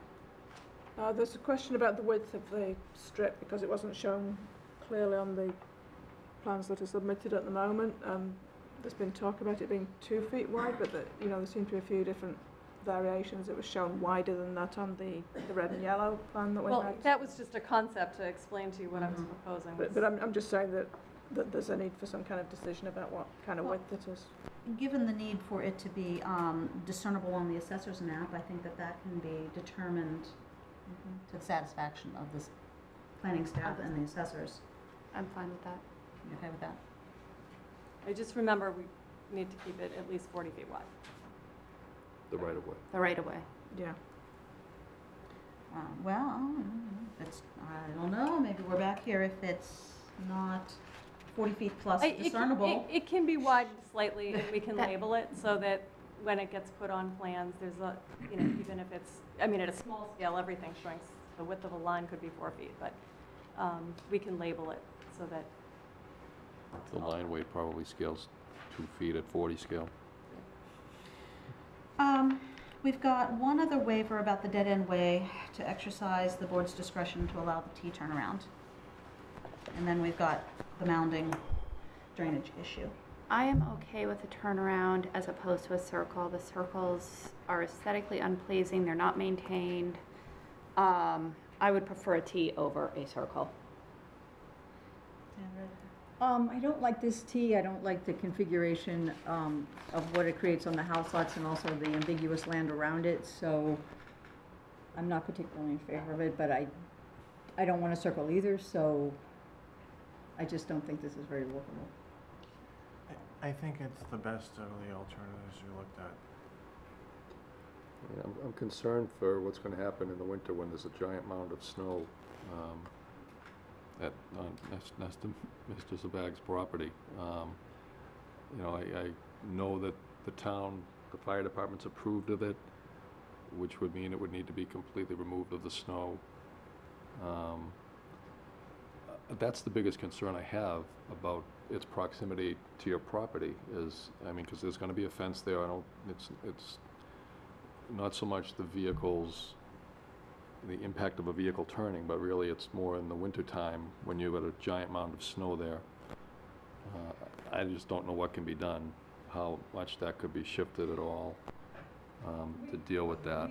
Um, Been at this for a very long time, but remember, what the plow's really going to do is kind of plow it all this way first. Well, the, This is going to come, but the DPW also said that the driveways would have to come off the long leg of that, so. and DPW and fire have been going back and forth on that, um, which is kind of interesting, because on one hand, they want to plow to the end of the cul-de-sac, and then the, I mean, the end of the um, T.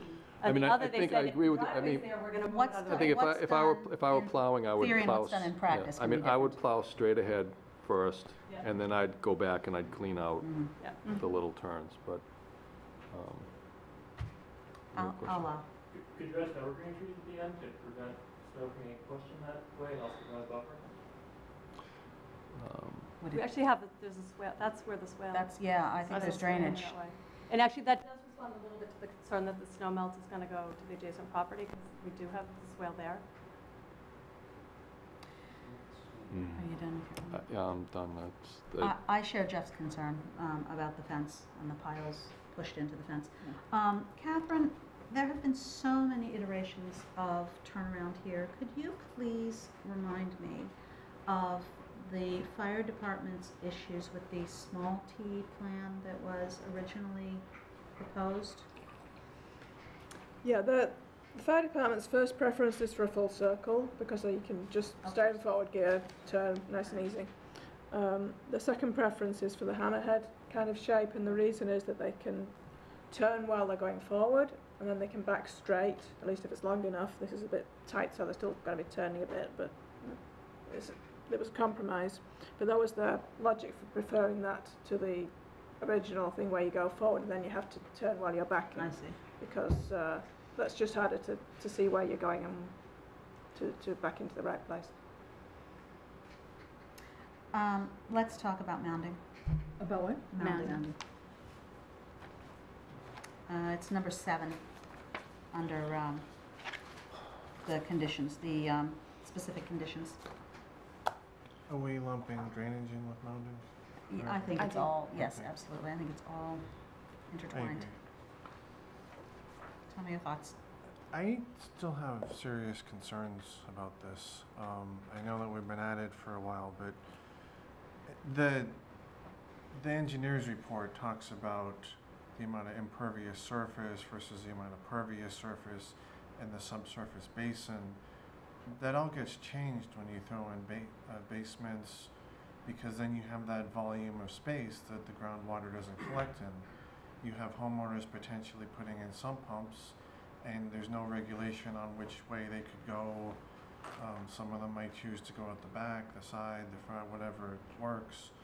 And mounding also is another situation because then you, you change the velocity, the way this might run off.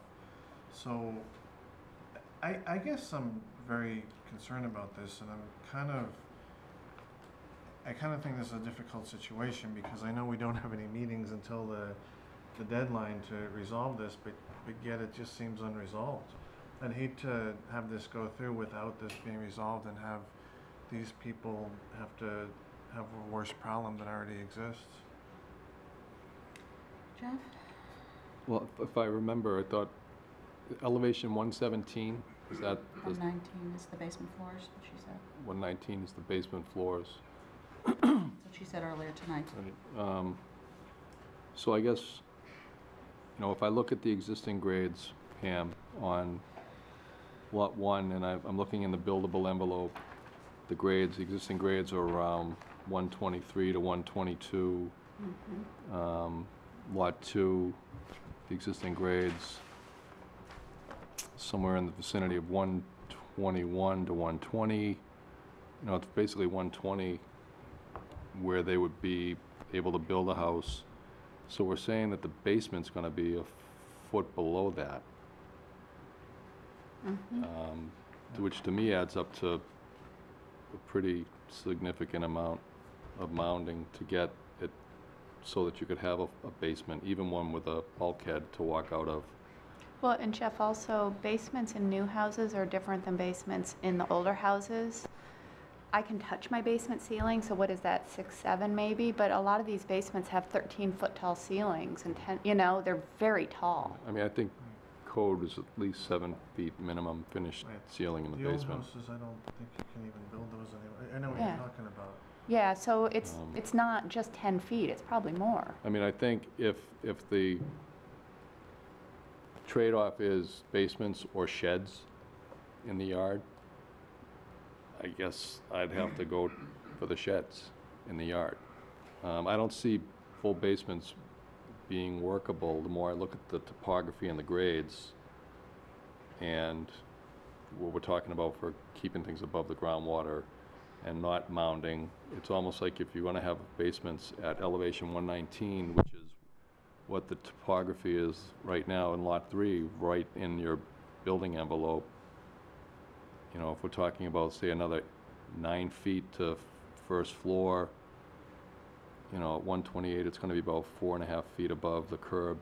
I mean, I get the desire to have the basements. I, I'm just not seeing it work with the grades that we have out there in keeping in mind our concerns for not mounding. I can't see how you can avoid mounding with the grades that we're dealing I with. think the engineer is proposing that we would need to um, fill about five feet to do a, to do a split. Um, He also suggests that the client should hire a geotechnical engineer to look at it. But again, this, these houses aren't gonna be built without conservation. We're talking about new houses in Bedford, and to tell them they can't have a basement, I think is just beyond the purview of this board.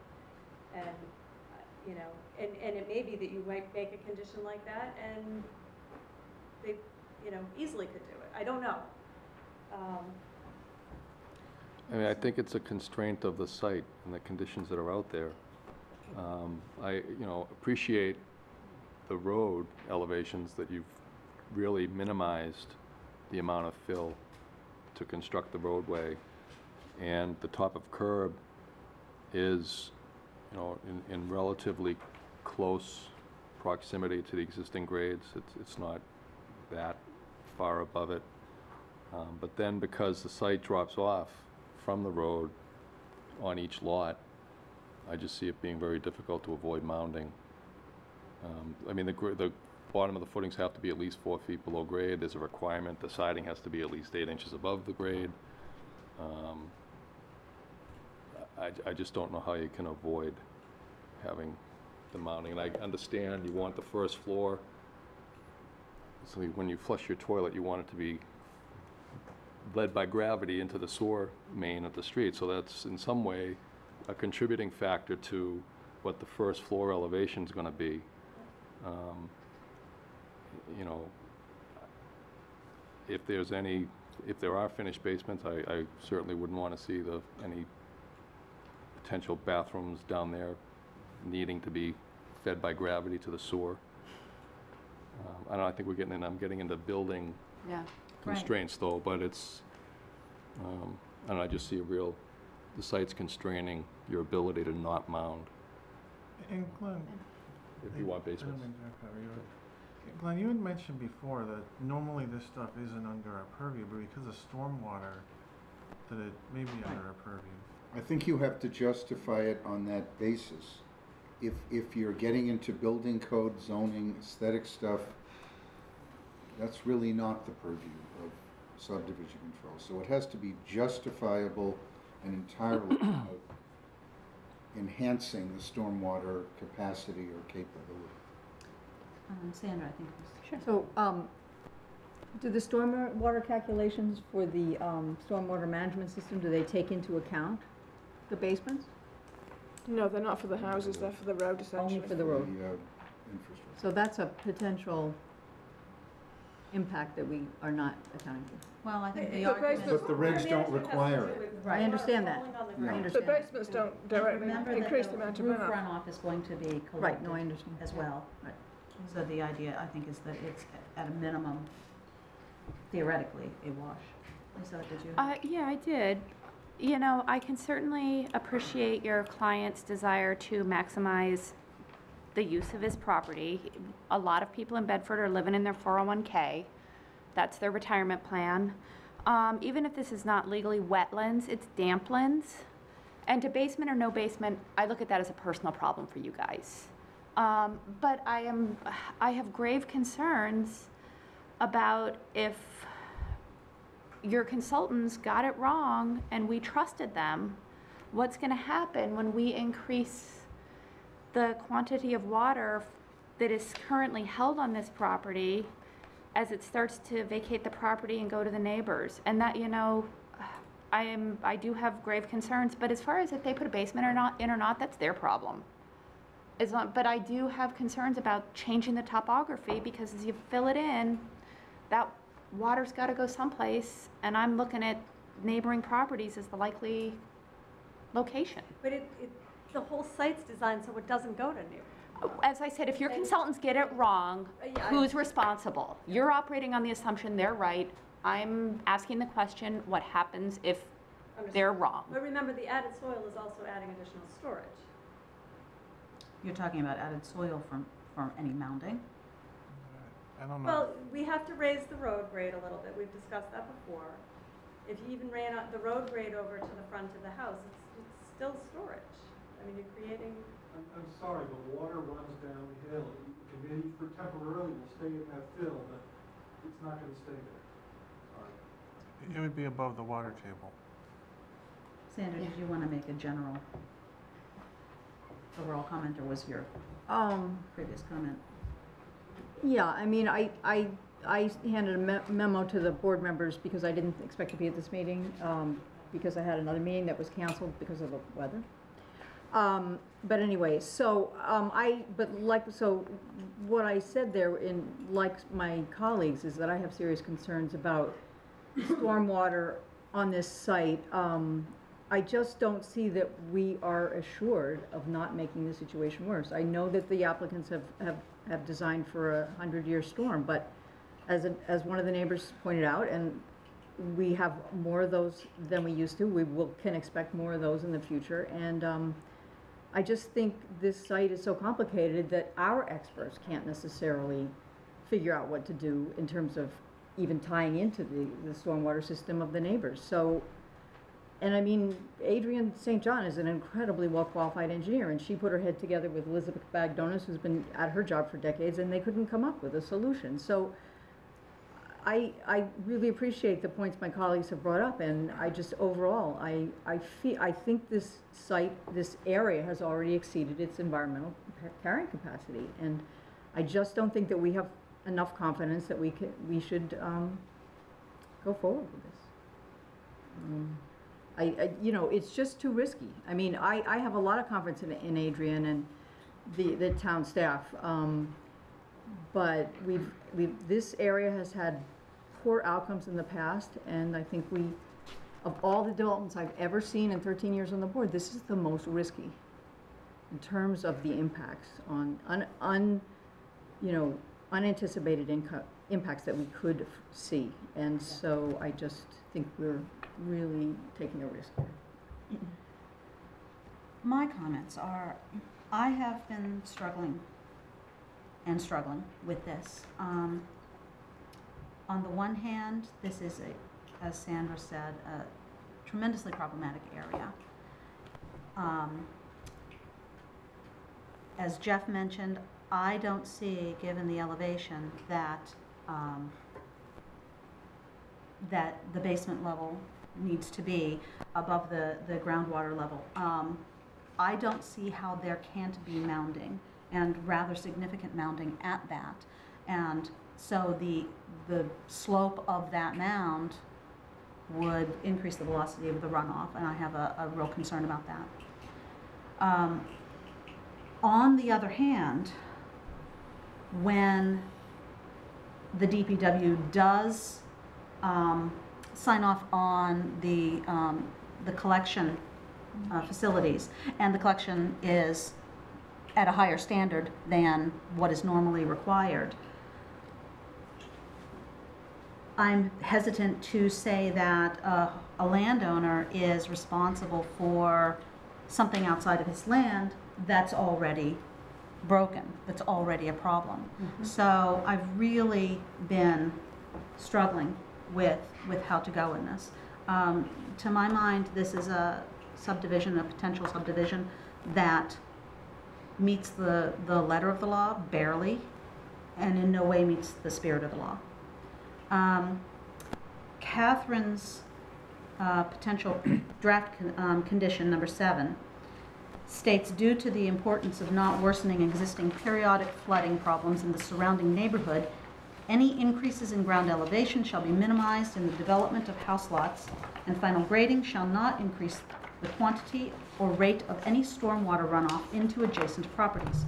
Runoff from roofs shall be directed to an infiltration system on the lot with a capacity of two inches applied to the roof area. Um, I wanted to suggest that the phrase, "Any increases in ground elevation shall be minimized in the development of house lots," um, it struck me as being too open-ended.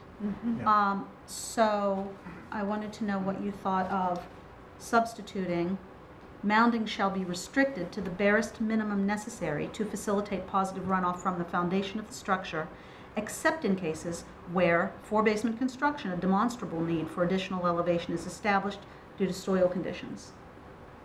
I don't know if you feel that that's strong enough, but the problem is, is that we are treading on some really iffy ground. We certainly cannot say no basements. It's just not within our, our, our, I power. don't know, I thought that was kind of fuzzy. If it's, if we can justify it literally on stormwater, which, I mean, Jeff, you just did the calculation, I've kind of been doing the calculation.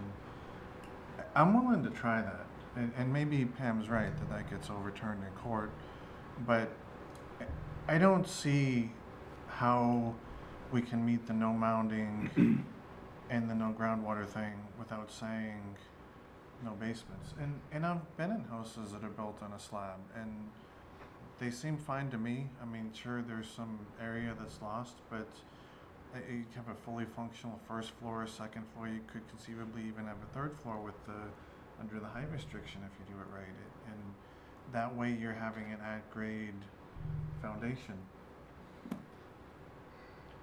Yeah, I, I think, for me, it's, it's a developable parcel. Um, it, it, as you said, Amy, it, it meets the letter of the regulation. In, in some way, it's in keeping with the spirit of it, in others, it's, it's borderline, but, um, I personally, um, would favor the development. Um, I'm the, the mounding is not an insurmount, it's not a make or break for me, you know, I, it's, there's gotta be a way to figure this out where we're not gonna wind up with eight feet of fill being brought in so that you can put the house where you want to. Now, I don't know how much Conservation Commission has to say about how much fill comes in. What's your experience, well, so, is there anything, I think Amy is on the right track with the mounding. Um, I honestly don't think basements are workable, I really, I don't. Um, If it means a, s- a larger footprint to get some s- additional space, I'm just worried about a condition that prohibits it when it is feasible, I'd if prefer, it can be feasible. I'd prefer to be silent on the word basement. I feel like that's their problem to figure out. Um, but I do want to address the water runoff and the velocity and the change in topography, because I think, who cares what they do within their four walls? Um, but our responsibility is on the property itself, So not the so- interior. Right, I, I- I think if we use the word basement, then you can call a basement what somebody else might call a first floor, but my concern is the depth of the foundation footing, because I think that's what affects the groundwater. well, the footing has to go a certain depth below grade. Right, And if, I guess if there's a void under a, a foundation with no finished space in it, the water's just gonna continue to work its way around it and fill up underneath it, and it'll, Yeah, t- to clarify, they're not allowed to go down in, into the water table, basically. So that is Right. what is covered by the building code. There has to be a clearance between any, you know, basement space or empty space and the wa, the high level of the water. So, Seasonal high level. yeah, so, so this is not going to go down and displace water and have to have some pumps to deal with any water that creeps in. That- That, that's simply not allowed under the building I mean, I think just foundation walls and footings would not encumber the water. It's gonna make its way around and through. I, th- I think Foundation. Amy's on the right path with her language. Um, and Glenn, have you had a chance to read this and give it thought? I haven't seen that. the That mounding specific language. provision, the yeah, la- mounding. uh, very briefly. Are you comfortable with that? Well, I, I, it's a compromise. It's a, it, it, you know, you're concerned about, uh, about excessive, uh, foundation, finished grade elevation. Um, you're concerned about it as a stormwater issue. I don't know how you further define it or quantify it. You really can't do one size fits all, just picking a number. Every site is site specific. I am nervous about sort of getting a little bit outside the normal domain of conventional subdivision control, purely as a legal issue. But as, as long as you tie it to stormwater, that, uh, it's one, it's one way to get, at least express the board's intent. So if, a- if a judge had to look at it, it would be clear. So, Would it make sense to add another statement saying the, the board is simply quite concerned about stormwater runoff and would not look favorable, favorably on any, um, unnecessary slope, uh, any slopes that are not absolutely necessary. Define absolutely Yeah, necessary. This is the problem, there's always that. That's pretty much the wording that, that Right, had. right. Yeah. Right. Can you read that again? Your Yeah, can you read it again? And slowly? I'll read it with the insert. Due to the importance of not worsening existing periodic flooding problems in the surrounding neighborhood, mounding shall be restricted to the barest minimum necessary to facilitate positive runoff from the foundation of the structure, except in cases where, for basement construction, a demonstrable need for additional elevation is established due to soil conditions. And final grading shall not increase the quantity or rate of any stormwater runoff onto adjacent properties.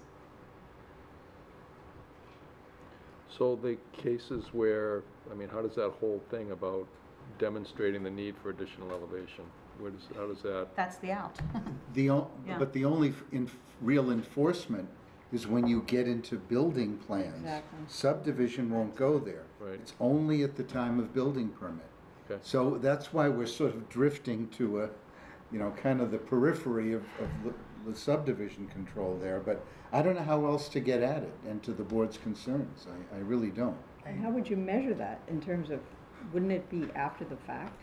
And how would you It measure? would be tied to, to your building plans, your, your building permit plans. You still have to assess the, the plans and predict whether it's going to cause a problem.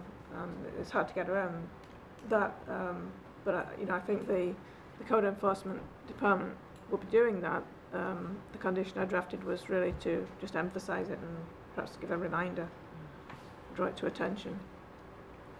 I wonder if an alternative way is to say the level of the foundation floor cannot go specify the depth with the buffer, the, and then the mounding cannot be higher than the existing grade, and, and that way you're specifying the dimensions. You've just, you've just eliminated basements then. Right. Yeah, Yeah, yeah. yeah, I don't by think we can be definition. that specific. Effectively, that's what happens, but I don't see any way around it. I mean, yeah, you, you could have, what do we calculate, one or two feet of a basement before you're above grade. But uh, otherwise, you're, you either, you're putting the foundation into water, or you're mounting it up high and, and you're increasing the velocity. I, I just don't see any way around that. Sean, I think you could make a motion to that effect, but I wouldn't be comfortable being that specific because I think it's getting too far outside of our purview, unfortunately. I mean, I would love No, I, I to say no res- I basements as respect well. your opinion, um, and, and maybe, maybe it'll be overturned in court, but I, um, Well, let me, let me back up for Amy, can I one. just mention? Oh, one? yes, sorry. Yeah, so I, I, I would, I would support your approach, Sean. I mean, I think it's, uh, I think it's creative and I, I think it, it's totally tied into stormwater, the impacts of stormwater, which is one's criterion for that, so I think it's a good idea. And that does kind of take us back to where we were last week, where we were talking about the height of the property in relation to the road. That the property, we had, Right. I think we had, the number we were tossing about was two feet above ro- the road or three feet above the road. You know, so that they wouldn't, it wouldn't be eight feet above the road. I did look a little harder at that, given that the way the land does drop off from the road. Um, I think saying that the, land, the ground could be mounded two feet above the road would actually be quite a high mound as you get further back onto the It's land. six So you might want to make it more too. level with the road or something like that. I, I could not support something um, that specific. I, I don't think it's, I think it's too far outside of our um, jurisdiction. What do you think about that, Glenn? My, concern is that the enforceability of that provision really comes down to the foundation and the, and the finish, and the foundation finish grades of each individual site on the three houses. And that is a function of building plans and a building permit. So you're, you're kind of drifting outside of the strict purview of subdivision. I know the connection is stormwater.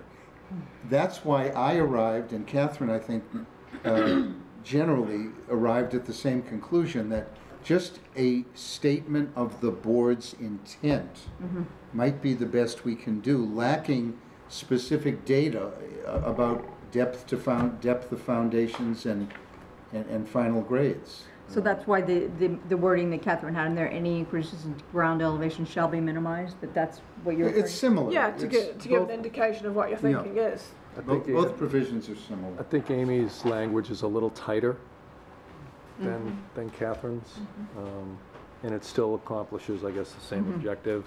When code enforcement is actually looking at building plans, they'll be able to understand our concerns and our intent. And, and in their review of the plans, of the building plans, to understand what we're doing and, you know, they'll tie that in with the requirements for separation from groundwater and, and all that, so, um, I think I'd rather, more specific and, and at least challenge. I mean, maybe it gets thrown out later, but at least the intent would be preserved anyways. Yeah, okay, I'm gonna support Sean on that. Okay. You could try it. I, I mean, Yeah. Can't hurt. going out on a limb, but Yep. So I, I guess how do we, um, so do Sean, could, this? So Sean could, could you say what you, what, how you would have So- worded that then? My language would be to put two dimensional constraints on. The first dimensional constraint would be that the foundation floor not be within two feet of the high seasonal groundwater. Two feet being the buffer to account for storms, so that sub, subterranean, uh, subterranean. okay, not, not two feet above, Two two feet feet below. below. So the foundation floor has to sit above the seasonal high groundwater. The second constraint being that the mounding of the property cannot exceed two feet vertically above the existing ground elevation for aesthetics and velocity. Two feet? Right, Of the new road, you mean, or of the existing of the condition? existing No, no for condition. the subdivision. Two feet from mean original Mean grade. original, right, which I think was something that was Right. pointed about before. We went beyond that last time. So, so, C- Could I ask a question? Um, Sure. I I believe in the stormwater regs, the DEP regs, there is a required buffer anyway. 'cause it- It's two feet above, above seasonal high water table Yep. anyway. That's, that's the state and federal standard. For the foundation floor. Um, Yeah, I or think or Sean any is saying, intrusion, any limit it to structural. that. I think Sean is saying, limit it to that. Do not go more than two feet. Do the two feet above the seasonal high groundwater, but don't go Actually, I higher was- than that. Is that correct? I was kind of thinking don't go less than that because you mess with the water, but it sounds like what you're saying, Glenn, that that's redundant. It- Well, it's, it's, Oh, okay. um, it, it's the DEP reg anyway. That's the, that's the standard statewide and, So would that preclude someone from taking a building permit out that doesn't meet that? I think it was something like the, the same that's in the building code that I discussed with Chris Lasky, you know, when I was saying that you can't go down into the water table, there was a certain margin there. I, I, I can't swear to, it, but that might have been two feet. No, but the DEP reg adds an additional Right, two-foot I'm saying buffer. they, they both So- seem to cover the same thing. Right, because seasonal high groundwater is a typical season. Well, it, it's nine thirty. I think we've got, cons- we've got three members who have supported Amy's language. I'm willing to make a motion that for condi, is it Well, I think condition? we, I think we need to close before we. No, this votes. was Is that just, this was just on the Rich? one condition to Just do the like a straw straw poll. poll. Just a straw, oh, okay. Yeah, on condition number seven to insert Amy's language. I guess the other concern, just to bolster that, I think the concern I'd have, I'm looking at the profile, mm-hmm. and I don't know if you just say you can only raise the grade by two feet, you're gonna adequately be able to, you know, service the sanitary line in the, in the street. You may wind up with the house sticking up out of the ground five feet anyway. So there's, there's a, there's a, rel- a relationship between the first floor elevation and you know, getting a proper slope to the sanitary drain in the street. And I'm not sure exactly what that finished, the magic number is for the first four grades. You know, But my it's fear- construction, it's building construction again, so. Yeah. My fear is that when they go to build this, however you feel about this subdivision, however anybody feels, it may be that one of our houses is unbuildable Could with that restriction. That's, you know, that's, we just don't know. We don't have the data. So let's draw a poll. Do we, we, do I understand correctly that we have three members who um, prefer to insert this language into the conditions and two who don't? Right. So we will insert the language with reluctance. Um, If I can very, very quickly change the subject, and I, I do want to apologize, I, you know, we're way over time, but I also feel like I don't want to give short shrift to, to this issue, um, to this proceeding. Um, I had forgotten that under conditions to be met prior to plan, plan endorsement, we were going back to talk about the twenty-five foot wide buffer, um, easement. There was some debate about what will be allowed. I would propose that we just say it's a no touch. Yep, I agree. I'm fine with that. I that. think that's what the abutters would like. Yes, Pam? Uh, This is an area where we're doing, there's drainage and Oh, oh, all kinds of stuff going on. no, no No build, build. no build. No structure, No structures. That, in- Fine with and that. that includes, above ground, no above ground. Yeah. well, it, and, but that has to include pools as well, which is not an above ground structure. You can say pools. Okay. Uh, But, you know, it could be, like, some of the, uh, the- I'm just worried about drainage structures or Yeah, yeah, yeah. real underground stuff. All Not, right. not something that's at ground that you can jump into. Structures, including pools. Fine with that. Basically, the, the idea being that only for necessary, Yeah. um, water Yeah, management. The idea was privacy. Right. Yeah. And not, and that's why it's specifically indicated Okay. pools, because you don't have a, I mean, I was hoping we could maybe have a shed, but not a pool, because the pool creates activity next door. I would not be in favor of a shed. Does how, does people, do people feel about No above-ground structures. no above ground structures and no pools? Don't pools contain stormwater? No?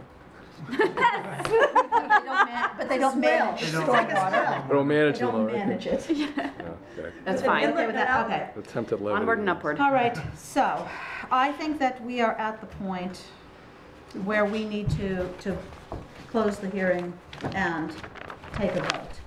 Um, Do we want to do a straw poll first in case the potential vote is going against the applicant so that they have an opportunity to withdraw without prejudice? The only question that I would have would be for Catherine, for the audience. If the board were to deny this um, application, what happens next? If you could answer that, please, for the audience. If the board denies the application, uh, well, they don't have approval. Um, They they could decide whether to appeal it, but um, So where do they, so tell, could you please tell the audience wh- how that works? What would, what would Pam's recourse be? Would she go, would she appeal it to Chris Lasky? Would she appeal it to a court of law? Could you just give, in 30 seconds or less, a quick edification for the audience? Yeah, the, the board would um, deposit its decision with the town clerk's office, um, and the, the appeal period is 20 days. Um, and I'm sure Pam knows the procedures for, for making a legal appeal. Not for Yeah, Pam, for the audience. Okay, Right, but the, both the, either the applicant or the audience can appeal in the 20-day period, is that? right. Yeah, so where would they appeal? Where, Superior Court. Okay, so if, if we were to deny it, it would go to Superior Court, and that would most likely be the action that the applicant would take. Is that correct? No, it's up to You'd have to ask the applicant. Or land court. Or land court, she said. So then, if- if you could also elaborate, perhaps Pam, if, if this were denied and it were appealed, if you did appeal this in court, um, what would happen to the conditions and uh, things that have Many of them might go away, because they're discretionary things we had agreed to, but on appeal, everything changes. Um, The other thing, uh, just a reminder, because I'm not, I I know the board members probably know this, but subdivision is a by right animal. If I hadn't asked for any waivers, you have to approve this. The waivers um, are all ones that you've supported, and most of them were ones that the neighbors supported um, as more beneficial to the neighborhood and to the town. Um, So, you know, to, to turn around and say, okay, we'll take away the waivers, um, is a detriment to everybody. So, you know, I, I don't want to ramble on, but we Well, deny- very hard. to- Denying it isn't exactly, the sa- exactly the same as taking away the waivers, but Yeah, I, your point is taken. What I wanted to do was to provide the audience with some context so that they can understand the different paths that could take if we approve, or we covered what happens if we approve it at the beginning. Let's just give them 30 seconds or less of what might happen, and I think you answered it very well.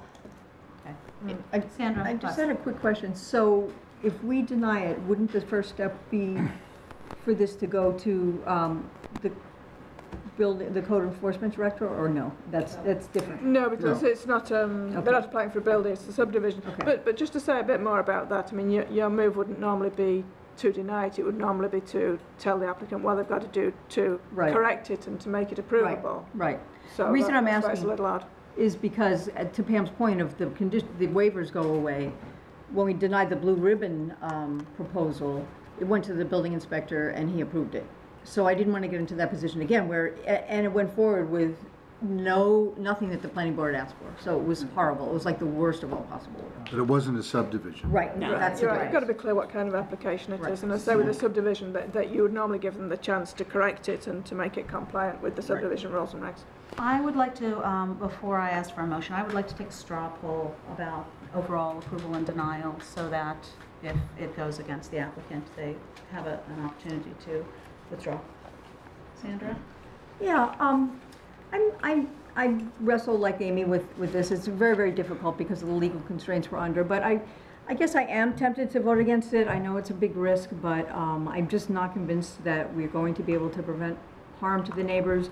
I don't like the idea that the T turnaround, um, is gonna set a precedence potentially for the next developments. It just feels to me as though we're squeezing developments the places that really can't support them. And um, more and more, every, every development we see gets more and more down that road. And I just want to put a stop to it. I mean, we're getting development that's not, it's just not helping our, our town. And I respect the, the, um, the, the landowner's desire to develop this, but I don't think it's tenable in this situation for the stormwater, for the, the awkward shape of the T turnaround.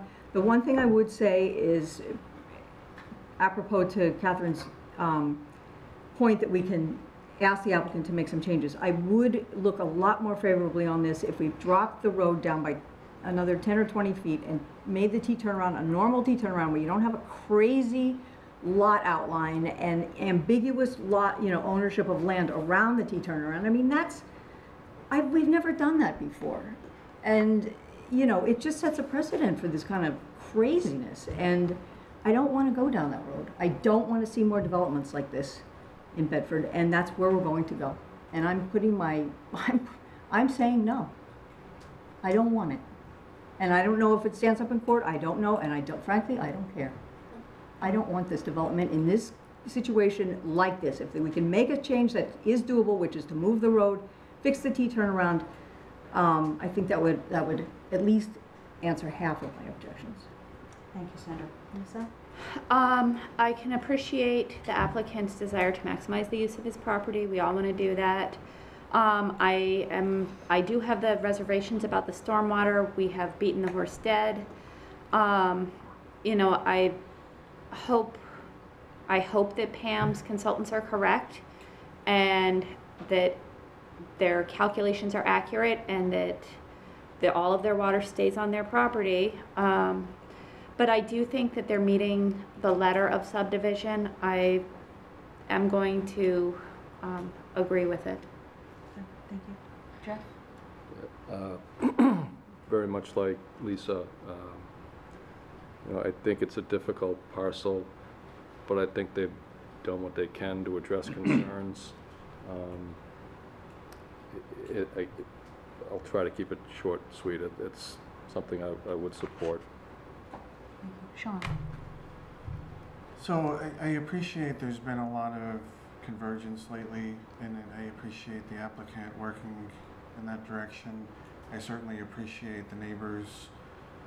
Uh, For me, uh, the drainage issue just isn't solved, so I, I'm not saying that I would oppose development at all in this case, because I think some issues are fixable, but the way it is now, I- I'd have to say no.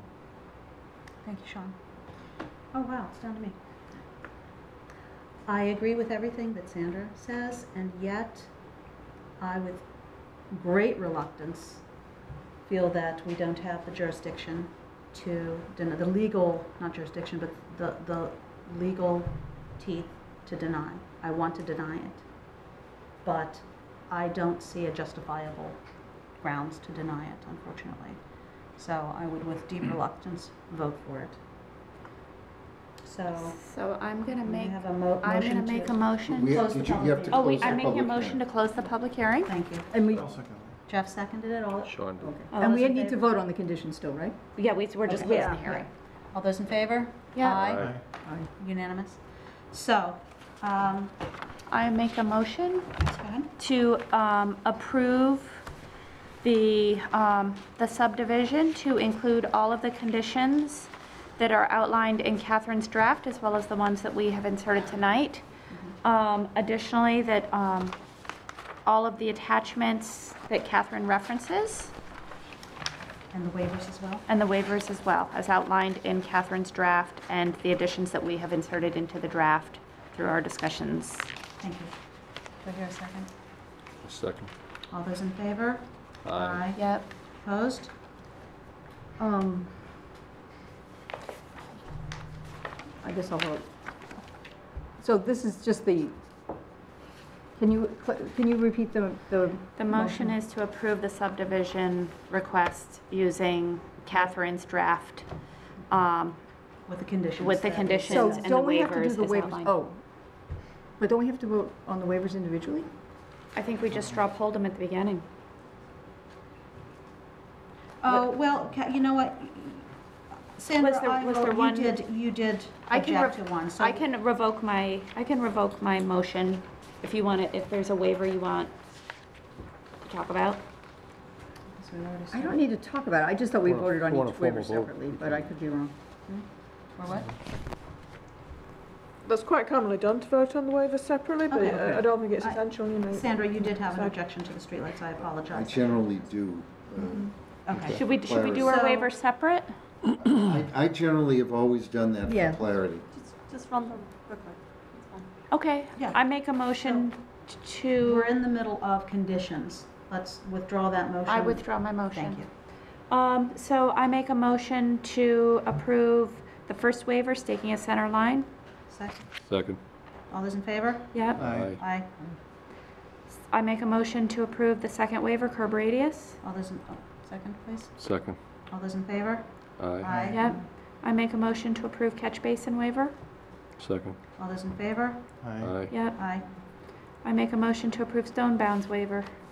Second. All those in favor? Yeah. Aye. I make a motion to approve the street width waiver.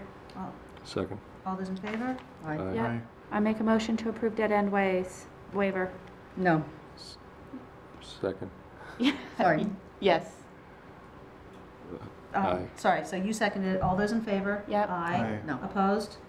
No. So we have Sandra opposing.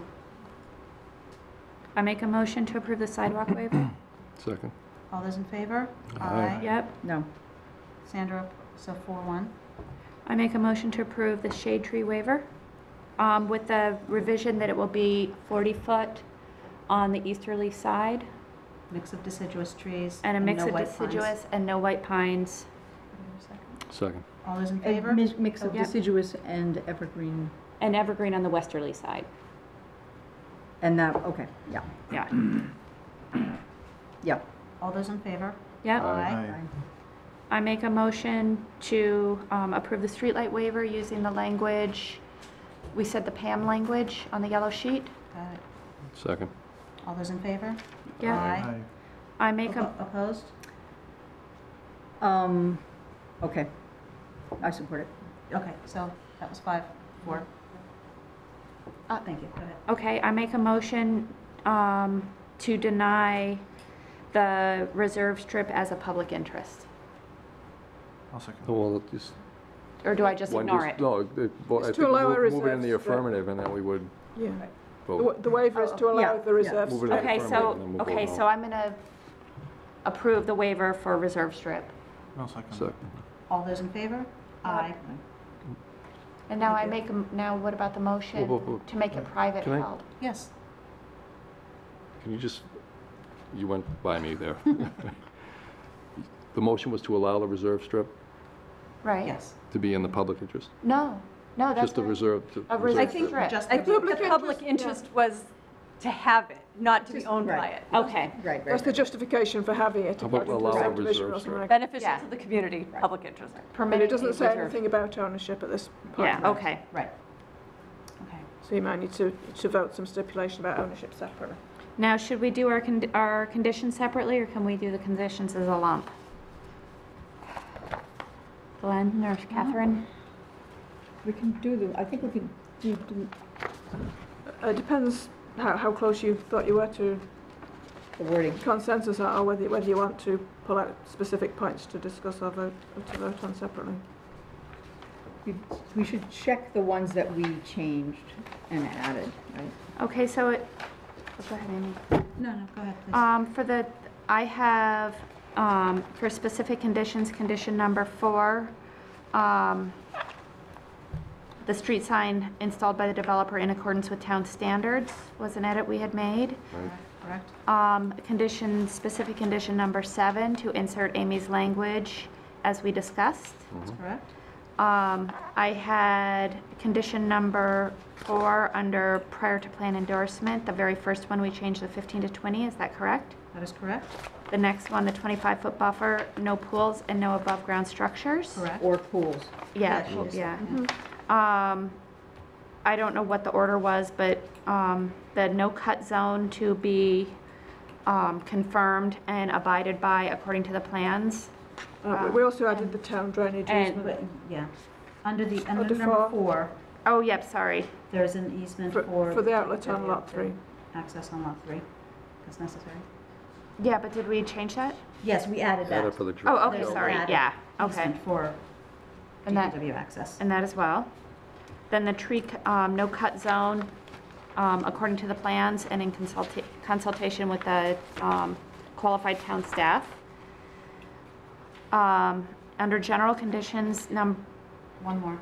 Under um, prior, number five, at the very end, there was a discussion of adding stricter language to the issue of covenant and surety. Yep. And then, g- under general, to add the word promptly, under condition number two.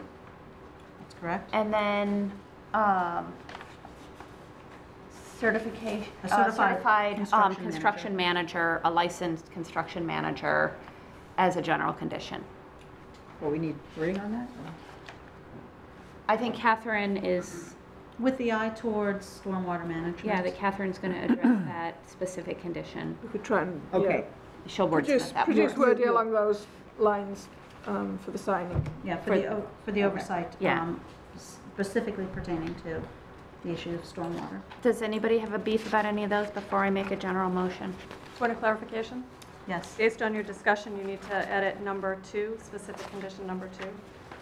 To delete, this is getting the um, strip all the way to Hartwell Road. Delete. Oh, yeah, That's correct. Yep. Thank you. yeah, thank you, Pam. And um, that the strip goes all the way to Hartwell Road and it's private own, private, private ownership. That's correct. Just letting Catherine catch up. You, actually, the line below need to delete two abutting properties and say, application of zoning rules to abutting properties on Patriot Circle, and then maybe insert and Hartwell Road. Yeah. So, Pam, will you coordinate with the engineers to revise the notes? And we accordingly? were, we had talked about taking out um, note number 20 to remove for reference only in the plans. Note number 20. on the, yeah, Is that on the landscape plans you're talking about? Um, I'm not sure which plan it was, honestly. You're saying remove See- it? See Yeah, through. remo- yeah, where it said, um, it talked about um, the no-cut zone. Remove note number 20. Oh, This yeah. says for reference only. lim- it says limits of tree clearing associated with the development of future homes is shown for reference only. And the idea being it needs to Yep, be more. that's fine. Yep.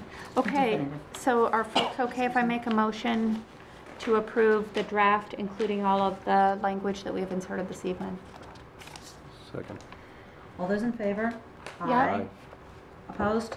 No. So, three, two. And that, I believe, is that. And we have a full agenda left. Thank you very much, everybody, for bearing with this. And I apologize for going so far over.